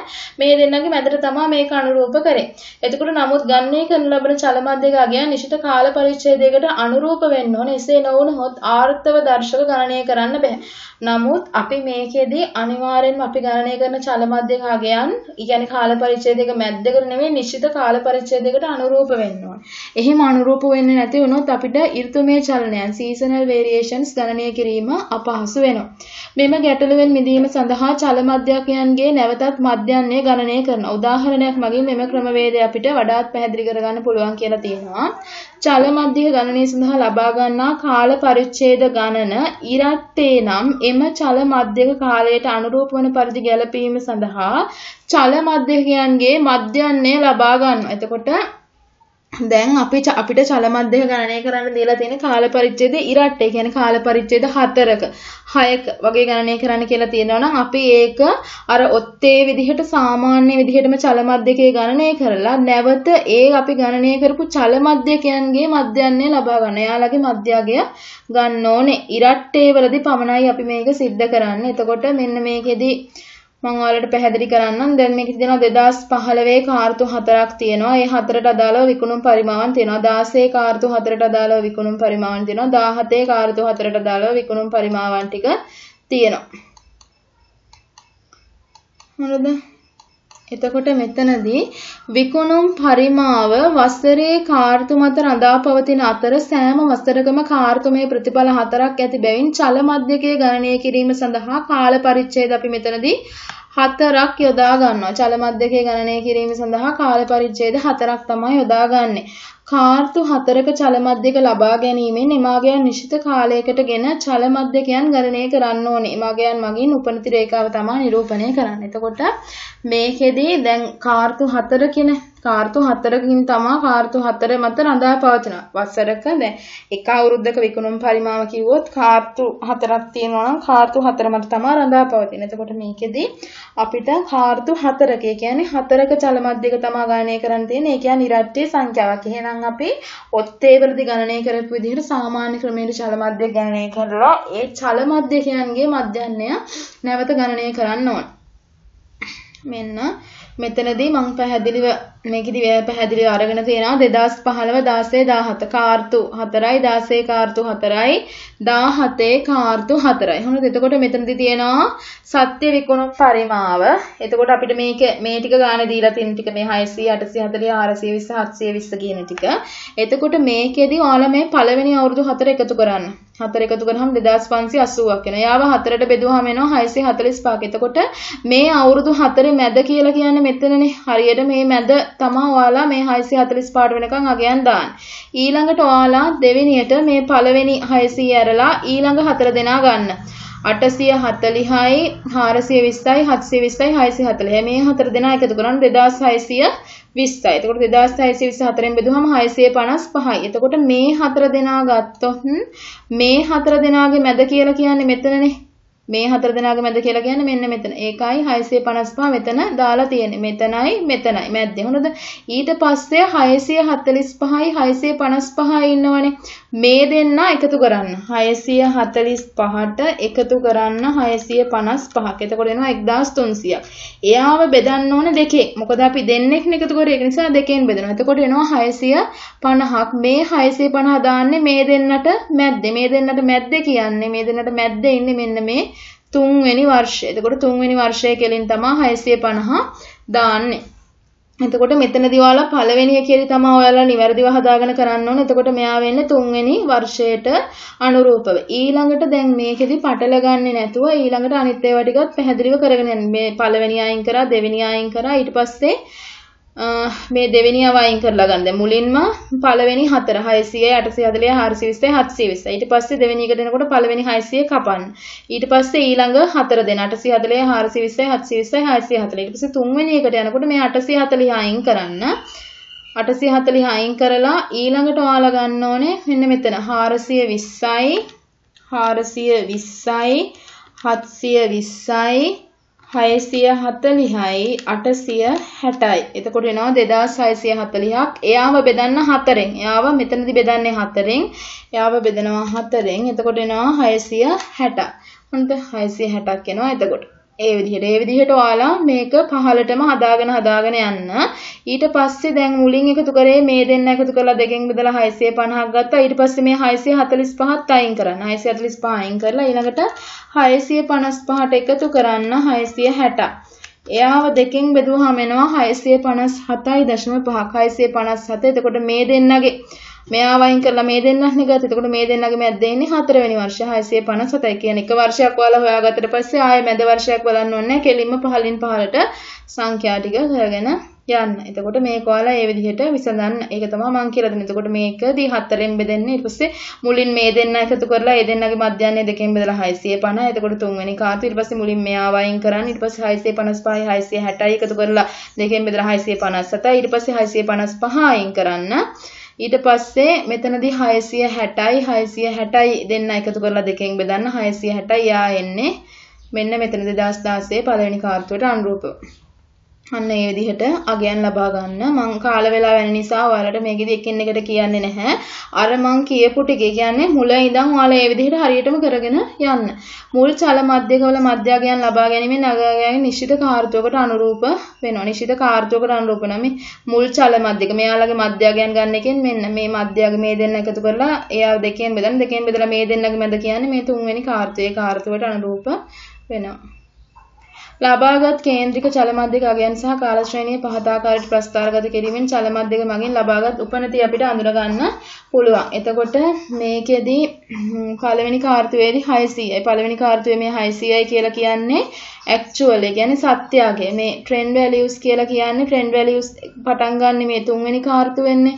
ට්‍රෙන්ඩ් වැලියුස් පටන් ගන්න මෙතන තුන්වෙනි කාර්තුවෙන්. තුන්වෙනි කාර්තුවේ 600 50. එතකොට මෙන්න මේ තුන්වෙනි කාර්තුවට අදාළව 650 මෙන්න මේ ට්‍රෙන්ඩ් වැලියුස් වෙනම ඇඳලා තිනවා. ඒක තමයි අය අරක තුලින් අපිට අඳින්න පුළුවන් මේක. ඊට පස්සේ අපි ඍතුමය දර්ශක ලබා ගැනීම කෙරෙහි කතා කරමු. ඔබගේ විභාගයේදී ඍතුමය දර්ශකයන් ගණනය කිරීම සඳහා ඔබට අවශ්‍ය වෙන්නේ නැහැ. කෙසේ වෙතත් ඔබ ඒවා තේරුම් ගන්නට අපේක්ෂා කරන අතර අවබෝධ සඳහා අමතර සංඛ්‍යාත්මක උදාහරණ මේකෙදී ඇතුළත් කරලා තියෙනවා. එතකොට චක්‍රයේ එක් එක් කාල පරිච්ඡේද සඳහා ඍතුමය චලනයන්හි සාමාන්‍ය තීරණය කළ යුතු අතර ඍතුමය විචලනයන්ගේ එකතුව ශූන්‍යයට ගැලපෙන පරිදි තමයි අපි සකස් කරන්න ඕනේ. ඍතුමය චලනයන් ගණනය කරන්න භාවිතා කරන ආකෘති දෙකක් තියෙනවා. ඒ කියන්නේ ඍතුමය චලනයන් කියලා මෙතන සීසනල් වේරියේෂන් එක මෙතනදී අපි හොයන්නේ S. එතකොට ඍතුමය චලනයන් ගණනය කරන්න ආකෘති දෙකක් තියෙනවා ආකලන ආකෘතිය සහ ගුණිත ආකෘතිය. ආකලන ආකෘතියේදී කාල ශ්‍රේණිය සමාන කරනවා උපනතියට ඍතුමය චලන එකතු කරනවා. එතකොට කාල ශ්‍රේණිය කියලා කියන්නේ y, උපනතිය කියලා කියන්නේ මෙතන t කියලා කියන්නේ ට්‍රෙන්ඩ් එක, ඍතුමය චලන කියලා කියන්නේ සීසනල් s. කාල ශ්‍රේණිය අපි හැම වෙලේම y අකුරෙන් තමයි සංකේතවත් කරන්නේ. ගුණිත ආකෘතියේදී කාල ශ්‍රේණිය කියලා කියන්නේ උපනතිය ගුණ කරනවා ඍතුමය චලන වලින්. y ගුණ කරනවා t වරක් s වලින්. ගුණිත ආකෘතියේදී ආකලන ආකෘතියේදී y සමානයි t ධන s ගුණිත ආකෘතියේදී y සමානයි t ගුණ කිරීම s මුලින්ම අපි බලමු ආකලන ආකෘතියක් භාවිතයෙන් ඍතුමය සංරචකය කොහොමද ලබා ගන්න කියලා. එතකොට මේකෙදි කාල ශ්‍රේණි විශ්ලේෂණයේදී ආකලන ආකෘතියට අනුව y සමානයි t ධන s වෙන්නේ. මේ ආකෘතියේදී අපි කාල ශ්‍රේණියෙන් උපනතිය අඩු කරන්න ඕනේ. කාල ශ්‍රේණියෙන් උපනතියගේ y වලින් t අඩු කරොත් තමයි අපිට මේ s ගණනය කරන්න පුළුවන්. මොකද මෙතන ධන t ඍණ t වෙනවා. එම නිසා ආර්ථව සංරචක s කියලා කියන්නේ y ඍණ t. එතකොට මේකෙදි බලමු උදාහරණය. කර්මාන්ත ශාලාවක ප්‍රතිදානයේ සතියේ දිනානුව වෙනස් වෙනවා. පසුගිය සති තුන තුල ප්‍රතිදානය පහත පරිදි වෙනවා. එතකොට පළවෙනි සතියේ ප්‍රතිදානය තියෙනවා දෙවෙනි සතියේ ප්‍රතිදානය තියෙනවා තුන්වෙනි සතියේ ප්‍රතිදානය තියෙනවා. එතකොට මේකෙදි සනුසංගහරවද බ්‍රහස්පතින්ද කියන දවස් පහ. පළවෙනි සතියේ දෙවෙනි සතියේ තුන්වෙනි සතියේ ඒක වෙනස් වෙන ආකාරය. දහස් වලින් දීලා තියෙනවා. සපයාරි දත්ත භාවිතා කරමින් කර්මාන්ත ශාලාවේ උපනතිය සහ ඍතුමය චලනයන් හඳුනා ගන්න ඕනේ. කාල ශ්‍රේණියේ දත්ත සතියේ දින පහ අනුව ඉහළ පහළ උච්චාවචනීය වෙන බැවින් දින පහේ චල මධ්‍යක ගණනය කරන එක තමයි වඩාත් යෝග්‍ය වෙන්නේ. දෛනික ප්‍රධාන අගයන්. දෛනිකව දීලා තියෙන අගයන්. එතකොට මෙන්න මේ අපිට මේ දීලා තියෙන අගයන් වලට අපි කියන්නේ y අගයන් කියලා. අපිට මේ දීලා තියෙනවා y. දෛනික උපනති අගයන් කියලා කියන්නේ t. t අගයන් සහ දෛනික ඍතුමය දර්ශකයන් s විදිහට තමයි අපි ලකුණු කරන්නේ. දින 15 තුල ඍතු මේ චලනයන් අපිට මෙන්න මේ විදිහට ගණනය කරන්න පුළුවන්. මුලින්ම ඔයාලට ගැටලුවේ දෙනාගයන් ටික ඔයාලා y කාල ශ්‍රේණිය විදිහට ගන්න. එතකොට මේවානේ අපි පුරෝකථනය කරලා අරගෙන තියෙන්නේ කාල ශ්‍රේණිය විදිහට. එතකොට මේකෙදි මේකෙදිත් මෙන්න මෙහෙම හදාගන්න y යගයන් විදිහට පළවෙනි සතියේ සම්දංග හරෝද බල බ්‍රහස්පති සිකුරාදා ගයන් පහ දාගන්න. ඊට පස්සේ මෙතන දෙවෙනි සතියේ තුන්වෙනි සතියේ දෙවෙනි සතිය මේක දෙවෙනි සතිය මේක තුන්වන සතිය. එතකොට සති ටිකේ ඔයාලට ගානේ දීලා තියෙන දත්ත ටික දාගන්න. මුලින්ම ඔයාලා හොයන්න ප්‍රතිදාන සඳහා මේකේ චල මධ්‍ය ගණනය කරනකොට අනිවාර්යෙන්ම එක සතියක ප්‍රදානය කරේ දැන් එක සතියක ඒක ගණන දීලා තියෙන මේක ගණන ඒ කියන්නේ එක සතියක බලපෑම හොයන්න නම් ඒකේ දවස් පහම බලපානවානේ. එතකොට මෙතන තියෙන පහක්. හරිද? පහක් කියලා කියන්නේ ඔත්තේ සංඛ්‍යාවක්. ඔත්තේ සංඛ්‍යාවකදී අපිට චල මධ්‍යකයේ සාමාන්‍ය හොයන්න නැහැ. සාමාන්‍ය මධ්‍යන්නේ හොයන්න තියෙන ඉරට්ටේ සංඛ්‍යාව. දැන් පහක් කියන්නේ ඔත්තේනේ සාමාන්‍ය විදිහට හොයන්න. ප්‍රධාන සඳහා දින පහේ චලායික්‍ය. මේ පහේ චලායික්‍ය 80යි 104 94 120යි 62යි 400 මේකේ ඔක්කොගම එකතු ඔයාලා හොයන්න. ඔක්කොගම එකතුව කියලා කියන්නේ 80යි 100 80යි 104යි 94යි 120යි 62යි මේ ඔක්කොගේම ඓක්‍ය 460යි හොඳද? 460යි ඔක්කොගේම ඓක්‍ය. එතකොට මේ 460 ඔයාලා බෙදන්න පහෙන්. 460 පහෙන් බෙදුවම එනවා 92ක් එතකොට මේ පස් දෙනාගේ මැද්ද ඉන්නේ බදාදානේ. බදාදානේ මැද්ද ඉන්නේ. එතකොට බදාදට අනුරූපව ඒ 92 දාන්න. ඒ විදිහටමයි මේ ටිකත්. මේකෙදි පළවෙනි 80 කපලා ඊළඟට ඉන්න පස් දෙනා එකතු කරන්න. 104යි 94යි 120යි 62යි 82. එතකොට 462. එයා පහෙන් බෙදුවම 92.4. එතකොට මේ පස් දෙනාගේ මැද්දේ ඉන්නේ කවද්ද? මෙන්න මේ බ්‍රහස්පතින්දා. එතකොට බ්‍රහස්පතින්දා කෙලින් තමයි 92.4 දාන්නේ. ඒ විදිහටම ඔයාලට උපනතිය හොයන්න පුළුවන් මෙන්න මේ 99.2ට වෙනකම්. හොඳද? එතකොට එතකොට දැන් මෙතනදී සීසනල් වේරියේෂන් එක සීසනල් වේරියේෂන් එකකින් තමයි ඍතුමය චලනය කියලා කියන්නේ වෛරින t. මෙන්න මේ විදිහට අපි හොයාගත්තා වෛරින t. මේ ආකලන ආකෘතියේදී වෛරින t. එතකොට දැන් මේකෙදී y තියෙනවා 94ක් y තියෙනවා 94ක් මෙතන t තියෙනවා දෙකක්. බදාදා කෙලින් ඉඳන් අපිට හොයන්න තියෙන මොකද මේ වගේ t යගේ යන්නේ නැහැනේ බදාදාගේ y තියෙනවා 94ක් t තියෙනවා 92ක් y ගෙන් t අඩු කරපුවම දෙකයි. මෙතන 120න් 92.4ක් අඩු කරාම 27.6යි 62න් 93.6ක් අඩු කරපුවම ඍණ 31.6යි එතකොට මෙතනදී ඔයාලා ඍණ ධන පිළිබඳව හොඳටම සැලකිලිමත් වෙන්න මේ යගයන් ටිකත් ඔයාලා ඒ විදිහටම ගණනය කරන්න. ඕනෑම දිනක සත්‍ය ප්‍රතිඵල සහ ඊට අනුරූප උපනති රේඛාවේ සාමාන්‍ය අගයන් අතර වෙනස සතිපතා වෙනස් වෙනවා කියලා පේනවා. මේකට හේතුව වෛරින තීහි එතුමේ විචලනයන් පමණක් නොව අහඹු විචලනයන්ද අඩංගු වෙනවා. අහඹු විචලනයන්ගේ බලපෑම ඉවත් කිරීම සඳහා තමයි අපි සාමාන්‍ය ලබා ගන්නෙ. එතකොට දැන් මේකෙදි මෙන්න මේ විදිහට දැන් මේ මේ සීසනල් වේරියේෂන්ස් ටික අරගෙන තියෙන්නේ. ඍතුමය චලනයන් ටික දැන් මේකෙදි පළවෙනි සතියේ බදාදාගෙන් පටන් ගන්න දාන්න පුළුවන් බදාදාගෙන් තමයි ඍතුමය චලනයන් පටන් ගන්න දෙකෙන්. එතකොට දැන් මේකෙදි ඔයාලා සතියේ දවස් පහ දාලා මේ විදිහට සති තුන දාගන්න. හොඳද? සති තුන. එතකොට පළවෙනි සතියේ බදාදාගේ අගය දෙකයි. පළවෙනි සතියේ බ්‍රහස්පතින්දාගේ 27.6යි. පළවෙනි සතියේ සිකුරාදාගේ ඍණ 31.6යි. ඊළඟට දෙවෙනි සතියේ එනකොට දෙවෙනි සතියේ සඳාගේ ඍණ 12.2යි. මේ අගයන් ටික ඔයාලා මේ වගුවට දාගන්න. මේ හොයාගත්ත අගයන් ටික. ඊට පස්සේ මෙතනදී කරන්නේ උපනති රේඛාව වඩා චලනයන් එකිනෙක අවලංගු වී යන අතර එබැවින් සාමාන්‍ය අගයන්ගේ එකතුව ශූන්‍ය වෙනවා. දැන් උපනති රේඛාවේදී දැන් මේකෙදි අගයන්ගේ එකතුව ශූන්‍ය වෙන්න ඕනේ. හොඳද? දැන් මේකෙදි 12.2ට එකතු කරනවා 13.8ක්. හොඳද? ඒ දෙන්නගේ එකතුව ඒ කියන්නේ මෙතන 13 කියලා කියන්නේ මේ දෙන්න එකතු කරන්නේ. සාමාන්‍ය කියන්නේ ගන්න කාල ශ්‍රේණියකද අපි ගන්නේ සාමාන්‍ය. ඔයාලා 12.2ට එකතු කරන්න ඍණ 13.8ක්. එතකොට එනවා ඍණ 12.2ට එකතු කරන්න 13.8ක්. එතකොට එනවා ඍණ 26. ඍණ 26 එතකොට දෙකෙන් බෙදන්න. සාමාන්‍යය කියලා කියන්නේ දෙකෙන් බෙදනවනේ 13යි. හොඳද? ඍණ 13යි. එතකොට මේ ධනාගයන් දෙක එකතු කරලා දෙකෙන් බෙදන්න 16. එතකොට මෙතන අගයන් 3ක් තියෙනවා. අගයන් 3ක් තියෙනවා. එහෙනම් මේ අගයන් 3 එකතු කරලා බෙදන්න ඕනේ 3. 2 එකතු කිරීම 1.4 එකතු කිරීම 0.8 එතකොට එනවා 4.2ක් එයාව බෙදන්න ඕනේ තුනෙන්. අගයන් තුනක් තියෙන නිසා එතකොට තමයි 1.4 වෙන්නේ. මෙතන අගයන් දෙකක් තියෙන නිසා දෙක එකතු කරලා දෙකෙන් බෙදන්න. මේතන දෙකක් තියෙන නිසා දෙක එකතු කරලා දෙකෙන් බෙදන්න. එතකොට දැන් මේකෙදී මේ ඔක්කෝගෙම ඓක්‍ය සාමාන්‍යයන්ගේ ඓක්‍ය අනිවාර්යෙන්ම ශූන්‍ය වෙන්න ඕනේ. මෙතන සාමාන්‍යයන්ගේ ඓක්‍ය ශූන්‍ය වුණොත් තමයි මෙතනදී හරි. නමුත් මෙතනදී මේ සාමාන්‍ය අගයන්ගේ ඓක්‍ය ශූන්‍ය වෙන්නේ නැහැ. අපි බලමු සාමාන්‍ය අගයන්ගේ ඓක්‍ය කීයක් වෙනවද කියලා. ඍණ ටික ඔයාලා වෙනම සුළු කරන්න. එතකොට ඍණවලදී තියෙනවා 13ක්. ඍණපද වලට ආයේ තියෙනවා 32.4ක්. එතකොට 13ට එකතු කරන්න 32.4ක්. එතකොට ඍණාගයන් තියෙනවා 45.4ක්. ඊට පස්සේ ධනාගයන් ටික වෙනම එකතු කරන්න 16යි 1.4යි 28.3යි. හොඳද? එතකොට මේකේ තියෙනවා ධනාගයන් ටික 45.7ක්. එතකොට ධනාගයන් ටික 45.7ක් තියෙනවා. ඍණාගයන්ගේ එකතුව 45.4ක් තියෙනවා. එතකොට මේ දෙන්නා සමාන වෙන්නේ නැහැ. එහෙනම් මෙයාලගේ වෙනස ධන නෙවැඩි ධන වලින් ඍණ ටික අඩු කරන්න. 45.7න් 45.4ක් අඩු කරන්න මෙතන එනවා 0.3 බින්දරශම තුනක් එනවා වෙනස. එතකොට මේ බින්දරශම තුන කියලා කියන්නේ දෝෂයනේ. මේ බින්දරශම තුන කියලා කියන්නේ මෙතන මේන දෝෂය. එහෙනම් මේ දෝෂයත් අපි මේ දින පහ අතර සමානව බෙදන්න ඕනේ. බින්දරශම පහත් මේ දවස් පහ අතර සමානව බෙදා හරින්න ඕනේ. එතකොට මෙතනදී බලමු. මෙතනදී 32.4යි 6යි මෙතනදී 0.3ක දෝෂයක් එනවා. එතකොට මේ 0.3 දෝෂය මේ 0.3ක ධන දෝෂයක් නෙමෙතන එන්නේ. මේක ධන දෝෂයක් කියන්නේ. මේක ධන දෝෂයක් එන නිසා මේක වැඩි ප්‍රමාණයක් නේ තියෙන්නේ. එහෙනම් මේක අපි අඩු කරන්න ඕනේ. 0.3 බෙදන්න ඕනේ දවස් 5.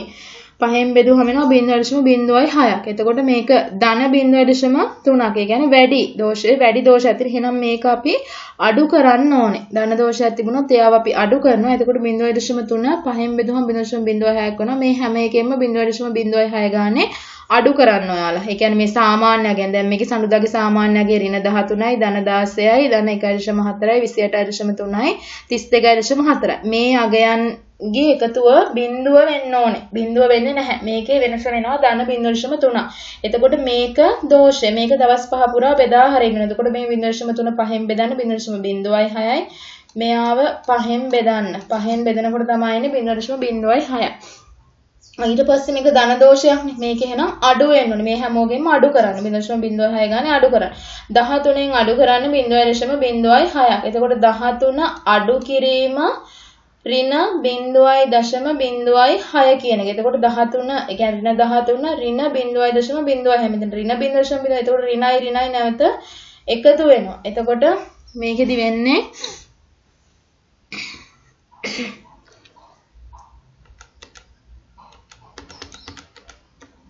13ට එකතු වීමක් තමා එන්නේ 13.06ක් වෙනවා මෙයාව අඩු වෙනකොට. හරිද? එතකොට මෙතන තියෙන්නේ ධන 16යි. මෙතනින් අඩු වෙන්න ඕනේ ඍණ 0.06ක ඍණ ඍණ. එතකොට මේකත් එකතු වීමක් වෙන්නේ. එතකොට දැන් මේකෙදි මේ ඍණ 0.06 කියන එක මේ දෝෂයන් ටික ගලපනකොට මේකෙදි දැන් ඔයාලට මේකෙදි දැන් දැන් මේකේ සාමාන්‍ය අගයන් ටික හෙව්වනේ මම ආයෙ මේකේ මුලින් දැන් කියන්න මේකේ සාමාන්‍ය අගයන් ටික හෙව්වනේ මේ සාමාන්‍ය අගයන් ටික හොයනකොට මේවා අවසානට සුළු කරනකොට මේකේ අගය බිඳුවක් වෙන්න ඕනේ. ඒ කියන්නේ මේ ධනාගයන් ටිකේ අයි කියලා ඍණාගයන් ටිකේ අයි කිය කැපිලා යන්න ඕනේ. එහෙම කැපිලා යන්නේ නැහැ. හොඳද? එහෙම කැපිලා යන්නේ නැහැ. එතකොට මෙතනදී එනවා ධන 0.3ක දෝෂයක්. මේ ධන 0.3ක දෝෂයක්. හොඳද? එතකොට මේ ධන 0.3ක දෝෂය මේ ඔක්කොටම වැඩි අගයනේ. කියන්නේ ධන අගයකින් වැඩි. එහෙනම් මේ අගය මේ අගයන්ගෙන් අඩු වෙන්න ඕනේ. අඩු කරලා අපි ගන්න ඕනේ මේ අගය බිඳුව කරගන්න ඕනේ. මේ අගය බිඳුව කරගන්න ඕනේ. එතකොට ඍණාගයක්. මෙතන දැන් තියෙන ඍණාගය. එතකොට මෙයාගෙන් අඩු වෙනවා කියලා කියන්නේ මෙයාට එකතු වෙනවානේ. මෙතන ඍණයි ඍණයි මේක ධන වෙනවානේ. එතකොට මේ අගයට එකතු කරන්න. එතකොට මෙතන ධනාගයක්නේ. මෙතන අඩුවීමක් වෙනවා කියලා කියන්නේ ධනාගයකට. එහෙනම් මේ 16න් 0.06 අඩු වෙන්න ඕනේ. හරිද? මෙතන ධනාගය. දැන් මෙතන ඍණාගයක් තිබිලා මෙතන අඩු කිරීම වෙනකොට මේ දෙන්නම එකතු කරනවා. මෙතන ධනාගයක්නේ දෙන්නේ. මෙතන ධනාගයක් තිබිලා මෙයා අඩු කිරීමක්නේ මෙයා අඩු කරන්නේ. මේ විරුද්ධ දෙන්නේනේ. ඒක නිසා. මේ විරුද්ධ දැන් 1.4යි බිඳුව ධන මෙයා ඍණ. එතකොට මෙතනදි වෙන්නේ මේ ධනාගයෙන් ඍණාගය අඩු කරන්න. අඩු කරලා ලොකු එකේ ලකුණ දානවා. මෙතන ධන 28.3යි බිඳුව. එතකොට මෙතනින් මේ ඍණාගය අඩු කරනවා 28.2.4. මේ අතර මෙයාත් ඍණ මෙයාත් ඍණ මේ දෙන්නව එකතු කරනවා. එතකොට දැන් අවසානට ඔයාලා මෙන්න මේ ටික බලන්න. ඍණ 13.06යි ඍණ 32.46යි එකතු කරලා බලන්න.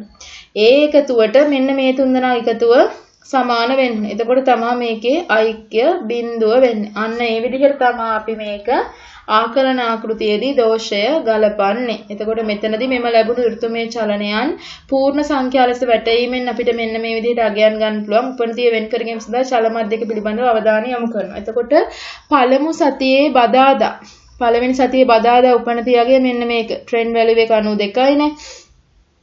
ඊට පස්සේ අවසානයේ 99.2 දෙකයි. 99.2 තුන්වන සතිය බදාදා 99.2 කාල පරිච්ඡේද 10ක් තුල උපනතිය වැඩිවීම 7.2යි ඒ හින්දා කාල පරිච්ඡේද 10ක් තුල උපනතිය 7.2යි දෙකක් නම් දෛනිකව වැඩි වෙන ගණන හොයන්නේ 7.2 බෙදන්න ඕනේ 10. එතකොට 7.2 10න් බෙදුවම දෛනිකව 0.72ක් තමයි උපනතිය වැඩි වෙන්නේ. එතකොට උපනතිය අගය හොයන්නේ මේ විදිහට. දැන් මෙතන මේ බදා ඉඳලා මේ බදාද වෙන්න දවස් 10ක් තියෙනවනේ. දවස් 10ක් තුල 99.2ක් වැඩි වෙනවා කියලා කියන්නේ 99.2කින් 92ක් අඩු කරන්න. එතකොට මෙතනදී දවස් 10ක් තුල වැඩිවීම වෙනවා 7.2ක් විදිහට. එතකොට එක දවසක් තුල වැඩිවීම ඒක 10න් බෙදන්න 0.72ක් විදිහට දෛනිකව වැඩි වෙනවා. ඊට පස්සේ දැන් මේ අපි කතා කරේ ආකලන ආකෘතිය. දැන් අපි කතා කරන්නේ ගුණිත ආකෘතිය. ගුණිත ආකෘතිය භාවිතයෙන් ලබා ගන්න ආකාරය. ගුණිත ආකෘතියේදී වෙන්නේ y සමානයි t ගුණ කිරීම s. ආකලන ආකෘතියේදී වෙන්නේ y සමානයි t ධන s, y සමානයි t ගුණ කිරීම x තමයි ගුණිත ආකෘතියේදී වෙන්නේ. එතකොට මේක x ගණනය කරන්න වෙන්නේ s ගණනය කරන්නේ මෙතන s කියලා කියන්නේ y බෙදීම t s ගණනය කරන්න y බෙදීම t මගින් තමයි s ගණනය කරන්නේ. සීසනල් වේරියේෂන් එක මෙතන ගුණ කිරීම t y බෙදීම t වෙනවා. එතකොට මේකෙත් අර විදිහටම ඔයාලා කාල ශ්‍රේණිය අගයන් එක්ක උපනති අගයන් ගණනය කරන්නේ. ඊට පස්සේ ඍතුමය චලනය කියලා කියන්නේ y බෙදීම t. එතකොට මේකේ y කියලා කියන්නේ 94යි t කියලා කියන්නේ 92යි 94 92කින් බෙදුවහම 1.02යි දෙකක්. මේ විදිහට එන්නේ අවසාන දශම ස්ථාන තුනකට වටේලා තමයි මේ අරගෙන තියෙන්නේ. එතකොට දැන් මේකෙදි මේ අගයන් ටික ඔයාලා සීසනල් මේ ටිකනේ සීසනල් වේරියේෂන්ස් ටික සීසනල් වේරියේෂන්ස් ටික අර විදිහට දාගන්න. මේ පළවෙනි සතියේ බදාදා මේ සියලු අගයන් ටික දාගන්න. ඊට පස්සේ මේ වගේ එකතුව කියලා කියන්නේ මේ අගයන්ගේ ඔක්කොගේම එකතුව ගන්න. මේ ඔක්කොගේම එකතුව අරගෙන යාගේ සාමාන්‍ය හොයන්න. ඒ කියන්නේ 0.8 7 0.8 5 9ක් එකතු වුණාම 1.7 2 9 යාව දෙකෙන් බෙදුවාම 0.8 6 4 5. මේ දෙන්න එකතු කරලා දෙකෙන් බෙදන්න. මෙතන තුන් දෙනෙක් තුන් දෙනාම එකතු කරලා 3.4 5 තුනෙන් බෙදන්න. හරිද? එතකොට දැන් මේකෙදි සාමාන්‍ය අගයන් ටික ගත්තහම මේ සාමාන්‍ය අගයන් ටික බින්දුවක් වෙන්න ඕනේ. බින්දුවට සමාන වෙන්න ඕනේ. හරිද? එතකොට දැන් මේකෙදි අපි ගන්නේ 0.8යි 6යි 4යි 5ට එකතු කරන්න ඕනේ 1.164යි 5ක්. එයාට එකතු කරන්න ඕනේ 1.0.1යි 5යි බින්දුවක්. එයාට එකතු කරන්න ඕනේ 1.3යි 0.0යි 5ක්. එයාට එකතු කරන්න ඕනේ 0.0.0යි 6යි 6යි.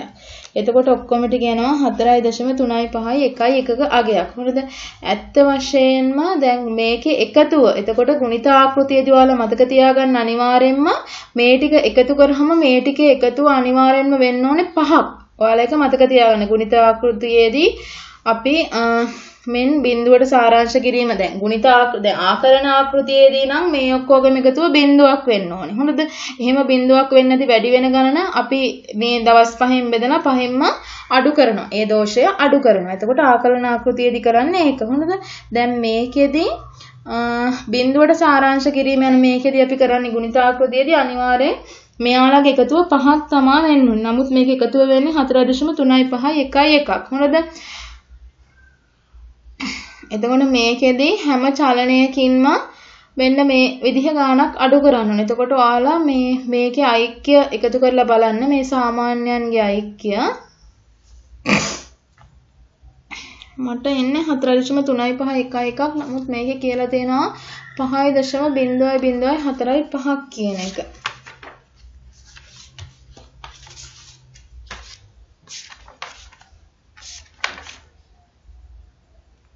පහයි දශම බිංදුවයි බිංදුවයි හතරයි පහක අගයක් තියෙනවා කියලා. එතකොට මේකෙදි බිංදුව දශම 8යි 6යි 3යි 6 1යි දශම 1යි 6යි 3යි 6 ගලපලා එන අගයන් ටික මේ යට දීලා තියෙන්නේ මේ ටික අඩු කරනවා. එතකොට මේකෙදි 0.8යි 6යි 4යි 5 1.1යි 6යි 4යි 5 1.0.1යි 5යි 1.3යි 0.0.5 0.0.6යි 6යි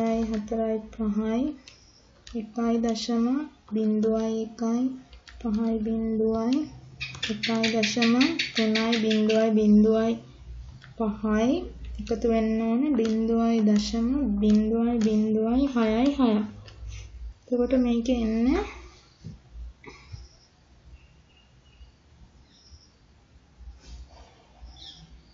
මේකේ මේ අයික ගන්නකොට මෙතන මොකක් හරි මිස්ටේක් එකක් වෙලා තියෙනවා. මෙතනදී අයික වල අරගෙන බලන්න 4.35 1 එකක් තමයි එන්නේ. හරිද? නමුත් මෙතනදී ඒක වැඩි හිතන්නේ නැතුව ඔයාලා මෙන්න මේ අයිකයට හදන්න. මොකද මේ ගාන ඉස්සරහට හදාගෙන ගිහිල්ලා තියෙන්නේ මෙන්න මේකට. එතකොට ඇත්ත වශයෙන්ම දැන් මේකේ අයික්‍ය මෙච්චරක් නම් හැම ඍතුමේ චලනයකම දැන් පහක් නෙවෙන්න ඕනේ. පහක් නෙවෙන්න ඕනේ. එතකොට පහයි දශම ගාණක් වෙන්න. එතකොට පහක් වෙන්න ඕන එක වැඩි වෙලා තියෙනවා. එහෙනම් ඔයාලා මෙන්න මේ ගාණෙන් පහයි දශම බිංදුවයි බිංදුවයි 4යි 5න් අඩු කරන්න පහක්. පහක් අඩු කරපුවාම එනවා බිංදුවයි බිංදුවයි 4යි 5ක්. හරිද? ඊට පස්සේ මේ අගේ දශම බිංදුවයි බිංදුවයි 4යි 5ක් එනවා අඩු කරපුවාම දෝෂය. එතකොට මේ බිංදුවයි බිංදුවයි 4යි 5 ඔයාලා බෙදන්න පහෙන්. ඒක පහෙන් බෙදුවාම එනවා දශම බිඳුවයි බිඳුවයි බිඳුවයි නමයක් පහෙන් බෙදලා තමයි මේ අරගෙන තියෙන්නේ. ඊට පස්සේ මෙන්න මේ ගාන හැම එකකින්ම අඩු කරන්න ඕනේ. 8යි 6යි 4යි 5න් මේ මේක වැඩිනේ. ඒ කියන්නේ වැඩි අගයක් නේ. එතකොට පහක් වෙන්න ඕන එක වැඩි වෙලා. එතකොට මේ වැඩිපුරාව අගය අඩු කරන්න ඕනේ. මේ වැඩිපුර තියෙන දෝෂ අඩු කරන්න ඕනේ. නිවැරදි කරන්න නම්. එතකොට මේකෙදි වැඩි වෙච්ච නිසා තමයි මෙයා අඩු කරන්නේ. මෙයා අඩුවෙන් ආවනම් අර 4.0 ගානනේ අපිට හරි විදිහට බලලා දෙන්නේ. එතකොට ඒක අඩුයිනේ ඒ ගාන අනිවාර්යෙන් මෙයාලට එකතු වෙන්න ඕනේ. දැන් මේකේ මෙයා 5.0.05 කියලා වැඩියෙන් ආව නිසා තමයි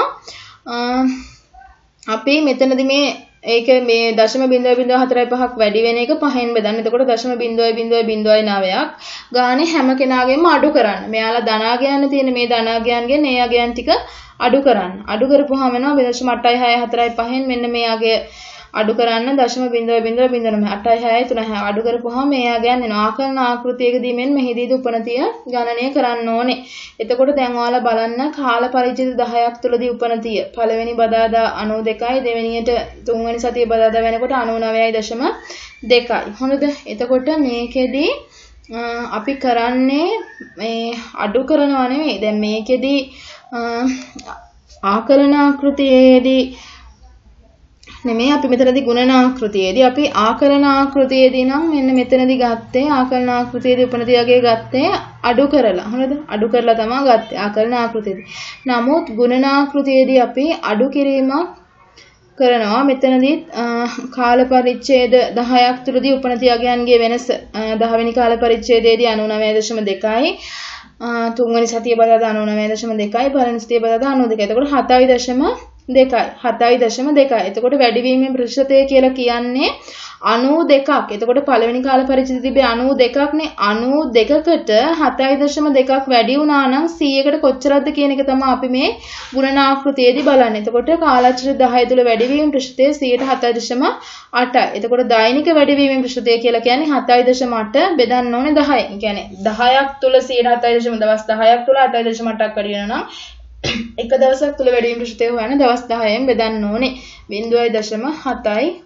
එතකොට අපි මේකෙදි මේ මොන මේ ආකෘතියේදී හදනකොට මේ ආකෘතියේදී අපි හදන්නේ අඩු කිරීමක් කරලා. එතකොට මෙතනදී අපි වර්ණය කරනකොට මෙතනදී මේ 7.2 මේක අපි ගන්නෙ ගුණනාකෘතියේදී අපි ගන්නෙ 92කට 7.2ක් නම් 100කට කොච්චරද? එතකොට 7.8. එතකොට මෙතන එන්නේ 0.78ක්. මෙතනදී එන්නේ 0.0 දෛනිකව වැඩි වෙන්නේ 0.7යි 2 ගානේ ආකලන ආකෘතියේදී ගුණනාකෘතියේදී 100.78කින් වැඩි වෙනවා. ආකෘතියෙන් දෙක. එතකොට ගුණිත ආකෘතිය භාවිතා කරන අවස්ථාව කාලයට සමග උපනතිය වැඩි වෙන විට හෝ අඩු වෙන විට පුරවකථනය කිරීම සඳහා ආකලන ආකෘතියට වඩා ගුණිත ආකෘතිය. එතකොට මේකෙදී ආකලන ආකෘතියට වඩා ගුණ කිරීමේ ආකෘතිය තමයි වඩා යෝග්‍ය වෙන්නේ. එවැනි තත්ත්වයන් තුළ ඍතුමය විශ්ලේෂණය වැඩි වීමට හෝ අඩු වීමට ඉඩ තියෙනවා. එතකොට ආකලන ආකෘතියට වඩා යෝග්‍ය වෙන්නේ ගුණ කිරීමේ ආකෘතිය කියන එක මතක තියාගන්න. හුදෙක් උපනතිය ගැන නිරපේක්ෂව වෙනස් වන ඍතුමය චලනයන් මේවා කරනවා. වැඩි වෙන හෝ අඩු වෙන උපනතිය ගැන නියත ඍතුමය විශ්ලේෂණ සාධකයන් වගේන් ගුණ කිරීමෙන් ඍතුමය චලනයන්ගේ වෙනස් වීමක් සැලකිල්ලට ගන්නවා. එතකොට මේකෙදි ඔයාලා ආකරණ ආකෘතිය සහ ගුණිත ආකෘතිය ආකෘතියන් දෙකේ මේ ගණන් දෙක හදන විදිහ ඔයාලට මනුරූප වෙන සාරාංශයක් කරගන්න.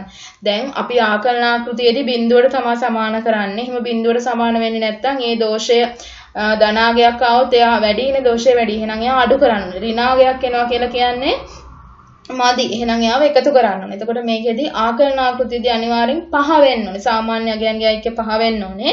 මෙතන මේ ගානේදී ගැටලුවක් තියෙන ගානක්. එතකොට මේකෙදි ඓක්‍ය 5.0.4.5 එන්නේ නැහැ. නමුත් ඔයාලා ඒක එනවා කියලා හිතාගෙන මේ විදිහට හදන්න. දැන් ඔයාලට එන්නේ 4 ගානක් මේ ටික එකතු කරලා බලන්න. එතකොට ඒකදී 4 ගානක් කියන්නේ පහනේ වෙන්න ඕනේ. මදි ප්‍රමාණයක් නේ තියෙන්නේ. එහෙනම් මේ මදි ප්‍රමාණය මේ හැම එකටම එකතු කරන්නයි ඕනේ. හොඳද? ඒ එකතු කරලා බලන්න අවසානට පහ වෙනවද කියන එක. දැන් මෙතනදී පහට වඩා වැඩි වෙච්ච නිසා තමයි අඩු කරේ. එතකොට මේ පස් දෙනාගේ එකතුව අනිවාර්යෙන් දැන් මෙතනදී පහ වෙන්න ඕනේ. මේක නිවැරදි වෙන්න නම්. එතකොට ඔයාලා මෙන්න මේ ආකෘතීන් දෙක හොඳටම මතකේ තියාගන්න. ඔයාලට ආවේනික සාරාංශයක් හදාගන්න. ඍතුමය චාලනය සඳහා ගැළපීම මගින් උපනතිය ලබා ගැනීම ඍතුමය චාලනය සඳහා ගලපන දත්ත යනු කාල ශ්‍රේණියේ මුල් දත් වලින් ඍතුමය බලපෑම ඉවත් කිරීමෙන් උපනතිය දැක්විය හැකි අගයන් ලබා ගැනීම ඍතුමය චාලනය සඳහා සකස් කරන සමස්ත උපනතිය ඉහළ යනවාද පහළ ස්ථාවර පවතිනවද කියන එක නිරූපණය කරන්න පුළුවන්. එතකොට ඍතුමය චාලනයන් සඳහා සැකසීම එතකොට මෙතන අපිට උදාහරණයක් දීලා තියෙනවා. මේ උදාහරණයේදී අපිට කියලා තියෙන්නේ දත්ත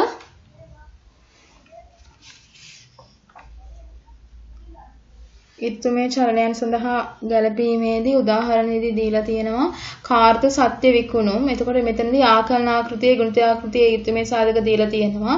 ඍතුමය චලනයට සහ උපනති අගයන්ට යොදන සාමාන්‍ය ක්‍රියාවලිය අපි අපසු හරවනවා. ඍතුමය චලන ඉවත් කිරීම සඳහා වන නීති පහට දැක්වෙනවා. එතකොට මේකෙදී අපි බලමු ආකලන ආකෘතියකදී ආකලන ආකෘතියකදී අපිට එන්නේ ධන ඍතුමය දර්ශකයක් නම් මුල් දත්ත වලින් අපි ඒ අගය අඩු කරනවා. මොකද ධනාගයක් කියලා කියන්නේ බිඳුවටනේ සමාන වෙන්නේ ආකලන ආකෘතියේදී. එතකොට ආකලන ආකෘතියේදී අපිට ධන ඍතුමය දර්ශකයක් ආවොත් අපි මුල් දත්ත වලින් එයාගේ අඩු කරන්න ඕනේ සමාන. දැන් දවස් 5න් ඒ ද ඒ දත්තේ 5න් බෙදලා ඒ කියන්නේ දත්තයන් තියෙන ගණ හතරක් තියෙනවා නම් ඒ දත්තය හතරෙන් බෙදලා ඒ හතර දෙනාගෙන්ම අඩු කරනවා. ධන අගයක් ආවොත් ඒ වැඩි වෙන දෝෂ. දැන් ඍණ ඍතුමය දර්ශකයක් ආවොත් අනිවාර්යයෙන්ම අපි මුල් දත්ත වලට එයාගේ එකතු කරන්න ඕනේ. එයාගේ එකතු කරලා අපිට ඒක ඉවත් කරන්න පුළුවන්. ගුණිතාකෘතියේදී මුල් දත්ත ටික ඍතුමය දර්ශකයන්ගෙන් බෙදීම මගින් ඍතුමය චලන ඉවත් කරන්න පුළුවන්. දැන් ගුණිත ආකෘතියේදී අපි කරන්නේ මුල් දත්තරික ඍතුමය දර්ශකයන්ගෙන් බෙදනවා. බෙදලා තමයි අපි චලනය ඉවත් කරන්නේ.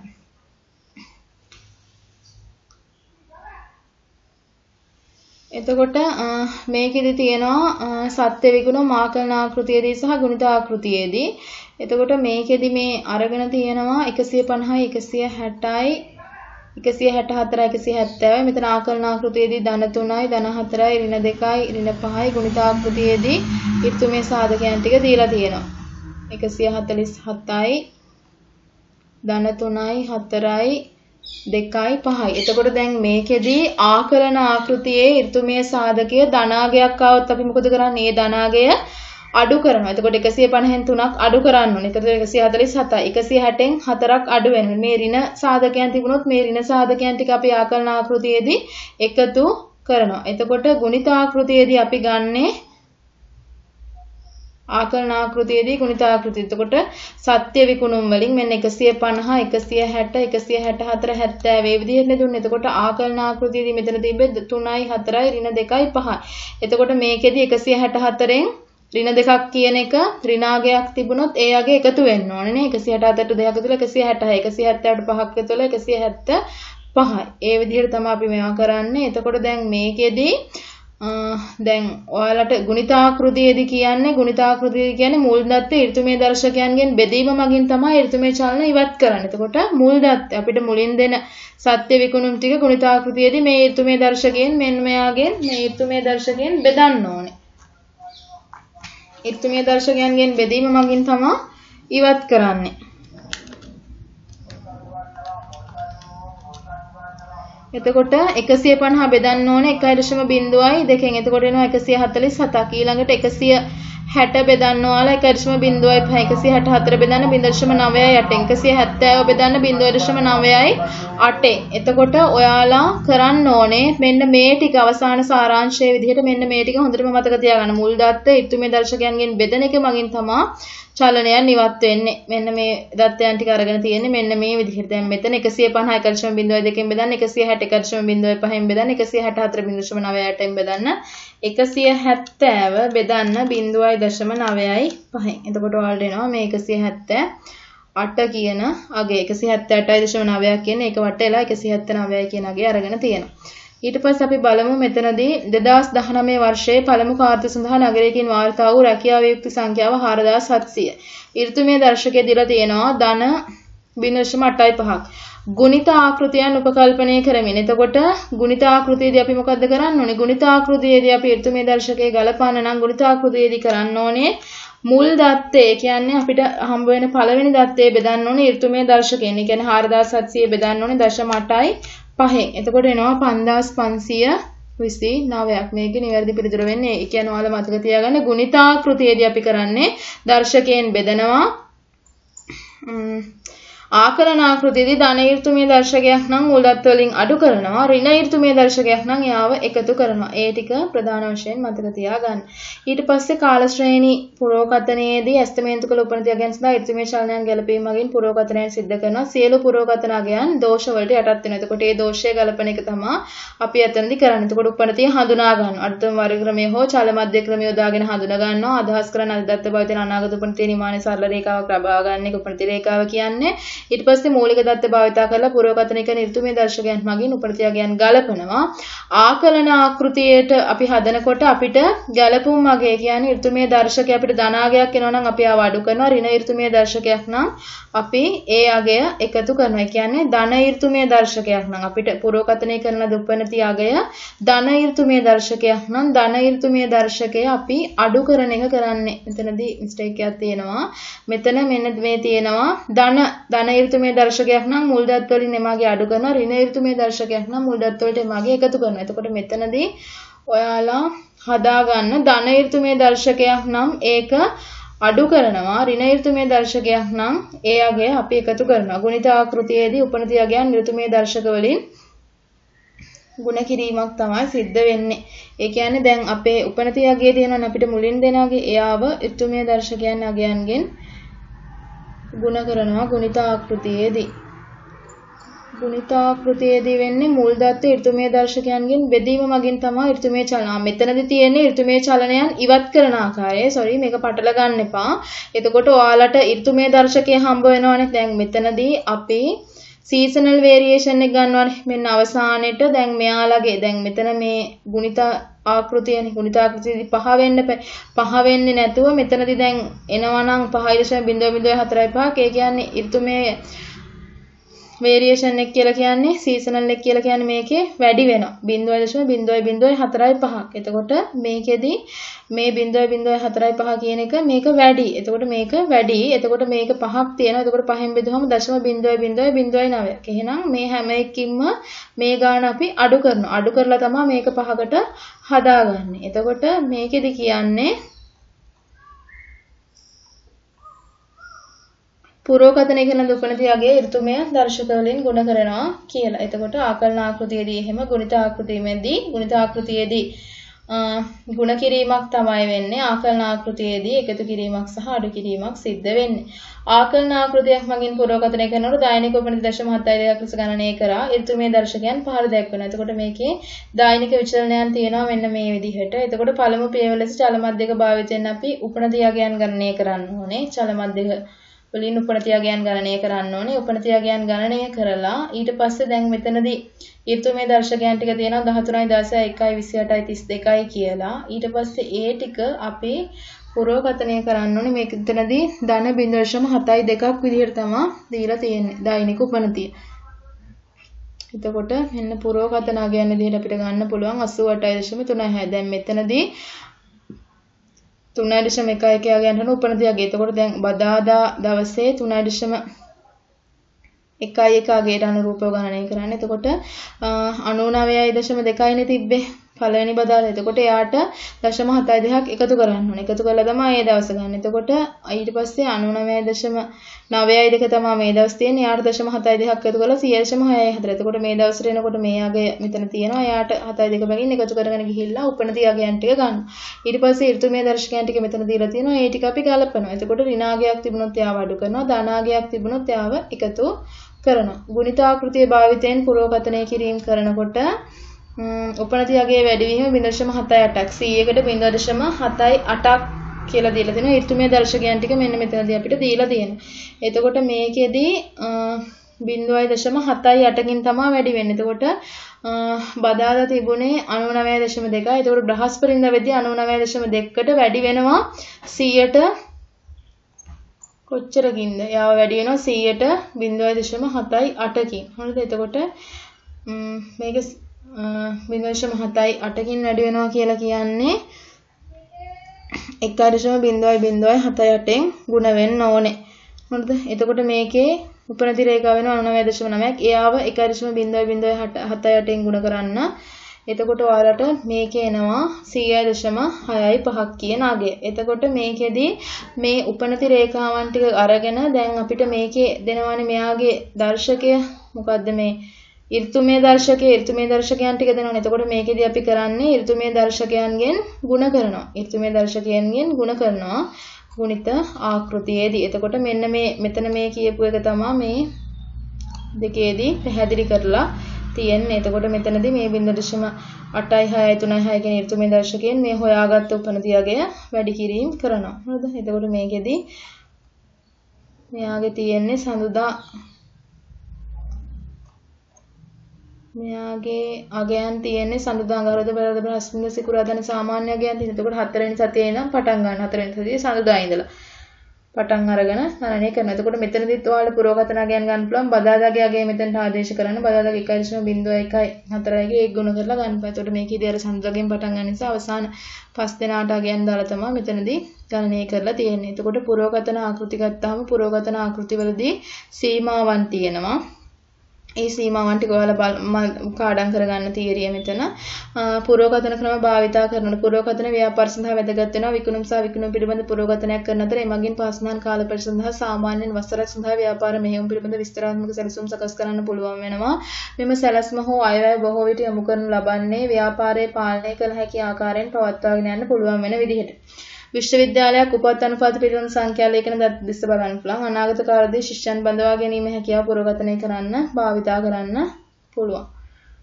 එතකොට කාල ශ්‍රේණිවලදී කාලයට සාපේක්ෂව රැස් කරන දත්ත කාල ශ්‍රේණියක්. මෙම දත්වල හඳුනාගත හැකි ඕනෑම රටාවක් අනාගතය දක්වා ඉදිරියට යනවා කියලා උපකල්පනය කරලා අපි ඒකෙන් තමයි පුරවතනය කිරීම කරන්නේ.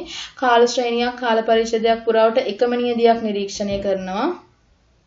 එතකොට මේ ටික ඔයාලා මතක තියාගන්න. සංරචක උපනදිය ඍතුමය චලන චක්‍රීය චලන සහ ආක්‍රමික චලන. උපනදිය හඳුනා ගන්න අපි චල මැද ක්‍රමය යොදා ගන්නවා. ආකලන ආකෘතියේදී උපනදියට ඍතුමය චලන එකතු වෙනවා. ගුණිත ආකෘතියේදී උපනදිය ඍතුමය චලනයන්ගෙන් ගුණ වෙනවා. ඍතුමය චලන සඳහා සැකසූ දත්ත කියන්නේ මුල් දත්ත වලින් ඍතුමය චලනයන් ඉවත් කරපු දත්ත. පුරෝගතනය කළ උපනදිය සඳහා ඍතුමය බලපෑම ගැලපීම මගින් අනාගත අගයන් අපිට පුරෝගතනය කරන්න පුළුවන්. ඊට පස්සේ අපි බලමු. කාලයත් සමග උපනදිය වැඩි වෙමින් හෝ අඩු වෙමින් පවතී නම් පුරෝකථනය සඳහා ආකලන ආකෘතියක් භාවිතා කිරීම වඩාත් යෝග්‍ය වෙනවද? සත්‍ය මේ ප්‍රකාශය අසත්‍යයි. එතකොට කාලයත් සමග උපනතිය වැඩි වෙනවා නම් අඩු වෙනවා නම් ආකලන ආකෘතියකට වඩා ගුණන ආකෘතිය භාවිතා කරන එක තමයි වඩාත් යෝග්‍ය වෙන්නේ. ඒ නිසා මේ ප්‍රකාශය අසත්‍යයි. ඒක මම ඔයාලට මුලදී කිව්වා. ඊට පස්සේ නිවැරදි ක්‍රමය කාල පරිච්ඡේද ඔත්තේ සංඛ්‍යාවක් තිබුණොත් ඔත්තේ සංඛ්‍යාවකදී අපි මොකද්ද කරන්නේ? කාල පරිච්ඡේද ඔත්තේ සංඛ්‍යාවකදී ගණනය කරන්නේ පළමු චල මැද්දෙක්. ඉරට්ටේ සංඛ්‍යාවක් තිබ්බොත් තමයි දෙවෙනි චල මැද්දකයකට යන්නේ අපි. දත්ත ඍතුමේ චලන සඳහා සැකසීමේදී ආකලන ආකෘතියක් සඳහා පහ සඳහන් නීතීන් අදාළ වෙනවා. ආකලන ආකෘතියකට තියෙන්න ඕන නීතීන් ටික ආකලන ආකෘතියකදී ධන ඍතුමේ චලනයන් තිබ්බොත් එකතු කරනවද නැහැ. ආකලන ආකෘතියේදී ධන ඍතුමේ චලනයන් ආවොත් එයාව අඩු කරනවා. ධන ඍතුමේ චලනයන් අඩු කරනවා ඒක හරි. ඍණ ඍතුමේ චලනයන් එකතු කරනවා ඒකත් හරි. ඍණ ඍතුමේ චලනයන් අඩු කරන්නේ නැහැ ඒක වැරදි. ආකලන ආකෘතියේදී ආකලන ආකෘතියේදී බිඳුව නෙවෙන්න ඕනේ. ඍතුමේ අගයන් සියල්ලංගෙම එකතුව බිඳුව තමයි වෙන්න ඕනේ. අගයන් ටික හොයාගත්තට ප්‍රසීම බිඳුව වෙන්නේ නැතුව යම් කිසි අගයක් වැඩි වෙනවා නම් ඒක ධන අගයක් නේ බිඳුවට වඩා වැඩි අගයක් එනවා. එතකොට ඒක ඒ අගේ දෝෂය. ඒ අගෙන් දෝෂය අපි අඩු කරන්න ඕනේ.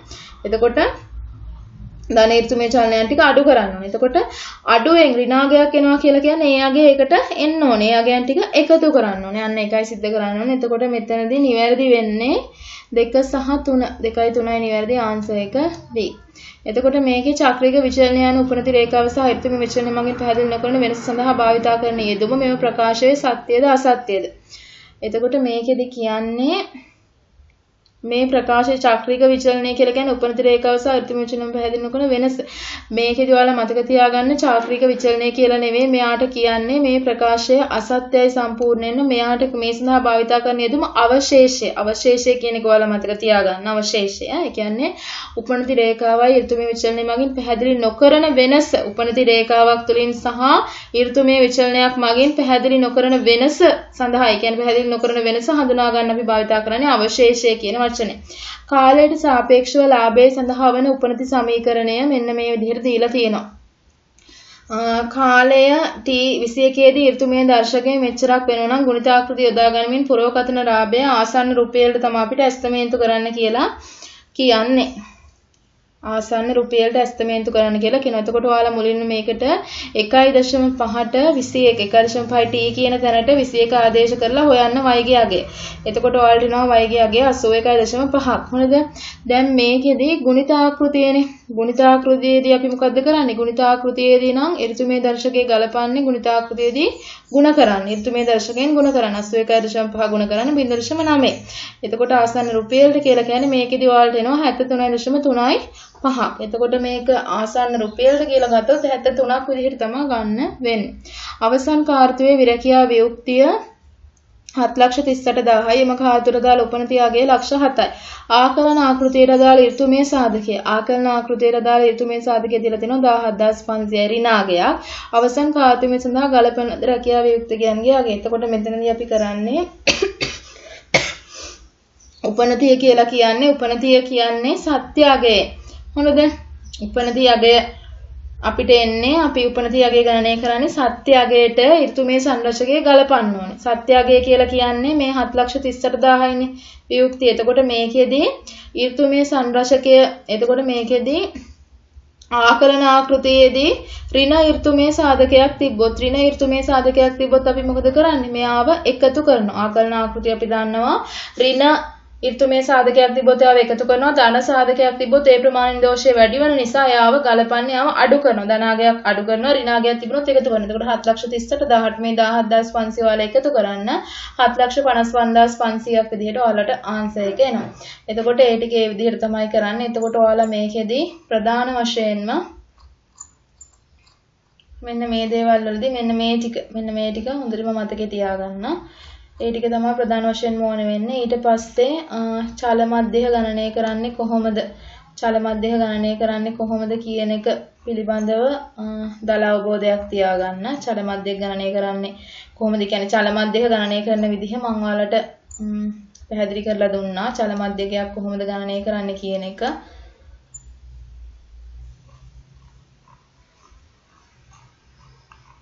එතකොට මම ඔයාලට මේ පැහැදිලි කරේ කාල ශ්‍රේණි පුරෝගතනය කියන පාඩම. එතකොට මේ පාඩම මෙතනින් අවසానයි. මේ පාඩම් ටික ඔයාලා බලනකොට මේ එකකට එකක් බැඳිලා තියෙන ඒක නිසා ඔයාලට කොතන හරි එක තැනකදී ඔයාලා මේවා මිස් කර කර බලනවා නම් ඔයාලට මේක තේරුම් ගන්න වෙන්නේ නැහැ. මොකද මේ මං කියන එක කරුණකට එක කරුණක් සම්බන්ධ වෙනවා. ඒක නිසා ඔයාලට මේක පිළිවෙලට බලනවා නම් මේ පාඩම අවබෝධ කරගන්න එක ලොකු ගැටලුවක් වෙන්නේ නැහැ. එතකොට ඔයාලා මතක තියාගන්න මේකෙදී ආකලනාකෘතියේදී මොකද්ද වෙන්නේ ගුණිතාකෘතියේදී මොකක්ද වෙන්නේ කියන එක මම ඔයාලට අවසාන සාරාංශයක් විදිහට අපි මම කියන්නම් ආකලනාකෘතියකදී අපි ධන ඍතුමය දර්ශකයක් නම් අපිට එන්නේ ධන ඍතුමය දර්ශකයක් නම් එන්නේ දැන් ආකලන ආකෘතියකදී ඍතුමය දර්ශකයන්ගේ බිඳුවනේ වෙන්න ඕනේ. එතකොට අපිට ධන ඍතුමය දර්ශකයක් එනවා නම් අපි ආව අඩු කරන්න ඕනේ. ඒ ධන ඍතුමය දර්ශකය අඩු කරන්න. ඍණ ඍතුමය දර්ශකයක් එනවා නම් එයා මුල් සියලුම මුල් දත්ත වලට එකතු කරන්න ඕනේ.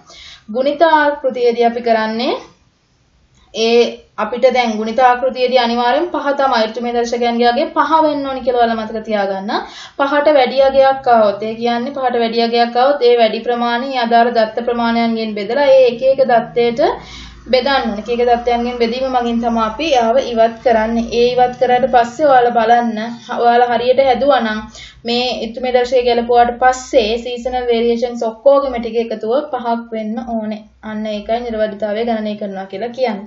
එතකොට මේකෙදි ඔයාලා ඔයාලට ආවේනික විදිහට ෂෝට් නෝට් එකක් හදාගන්න එක තමයි වඩාත්ම හොඳ වෙන්නේ මේ ගුණිත ආකෘතියටයි ආකලන ආකෘතියටයි. එතකොට ඔයාලට MCQ 50 තුල මේ ලොකු ගාණක් හදන්න කොහොමත් එන්නේ නැහැ. එතකොට එතනදී ඔයාලගෙන් අහන්න පුළුවන් මේ ඍතුමේ සාධකයන් දීලා ඒවා ගලපන්නේ කොහොමද කියලා ආකලන ආකෘතියෙන් ගලපන්නේ කොහොමද ගුණිත ආකෘතියෙන් ගලපන්නේ කොහොමද කියන එක අහන්න පුළුවන්. එතකොට එතනදී ඒ වෙනුවෙන් ඔයාලා තුල හොඳ පුළුල් අවබෝධයක් තියෙන්න ඕනේ කොහොමද ඒ ගැලපීම් කරන්න කියන එක පිළිබඳව. එහෙනම් මේ පාඩම මෙතනදී නවත්තනවා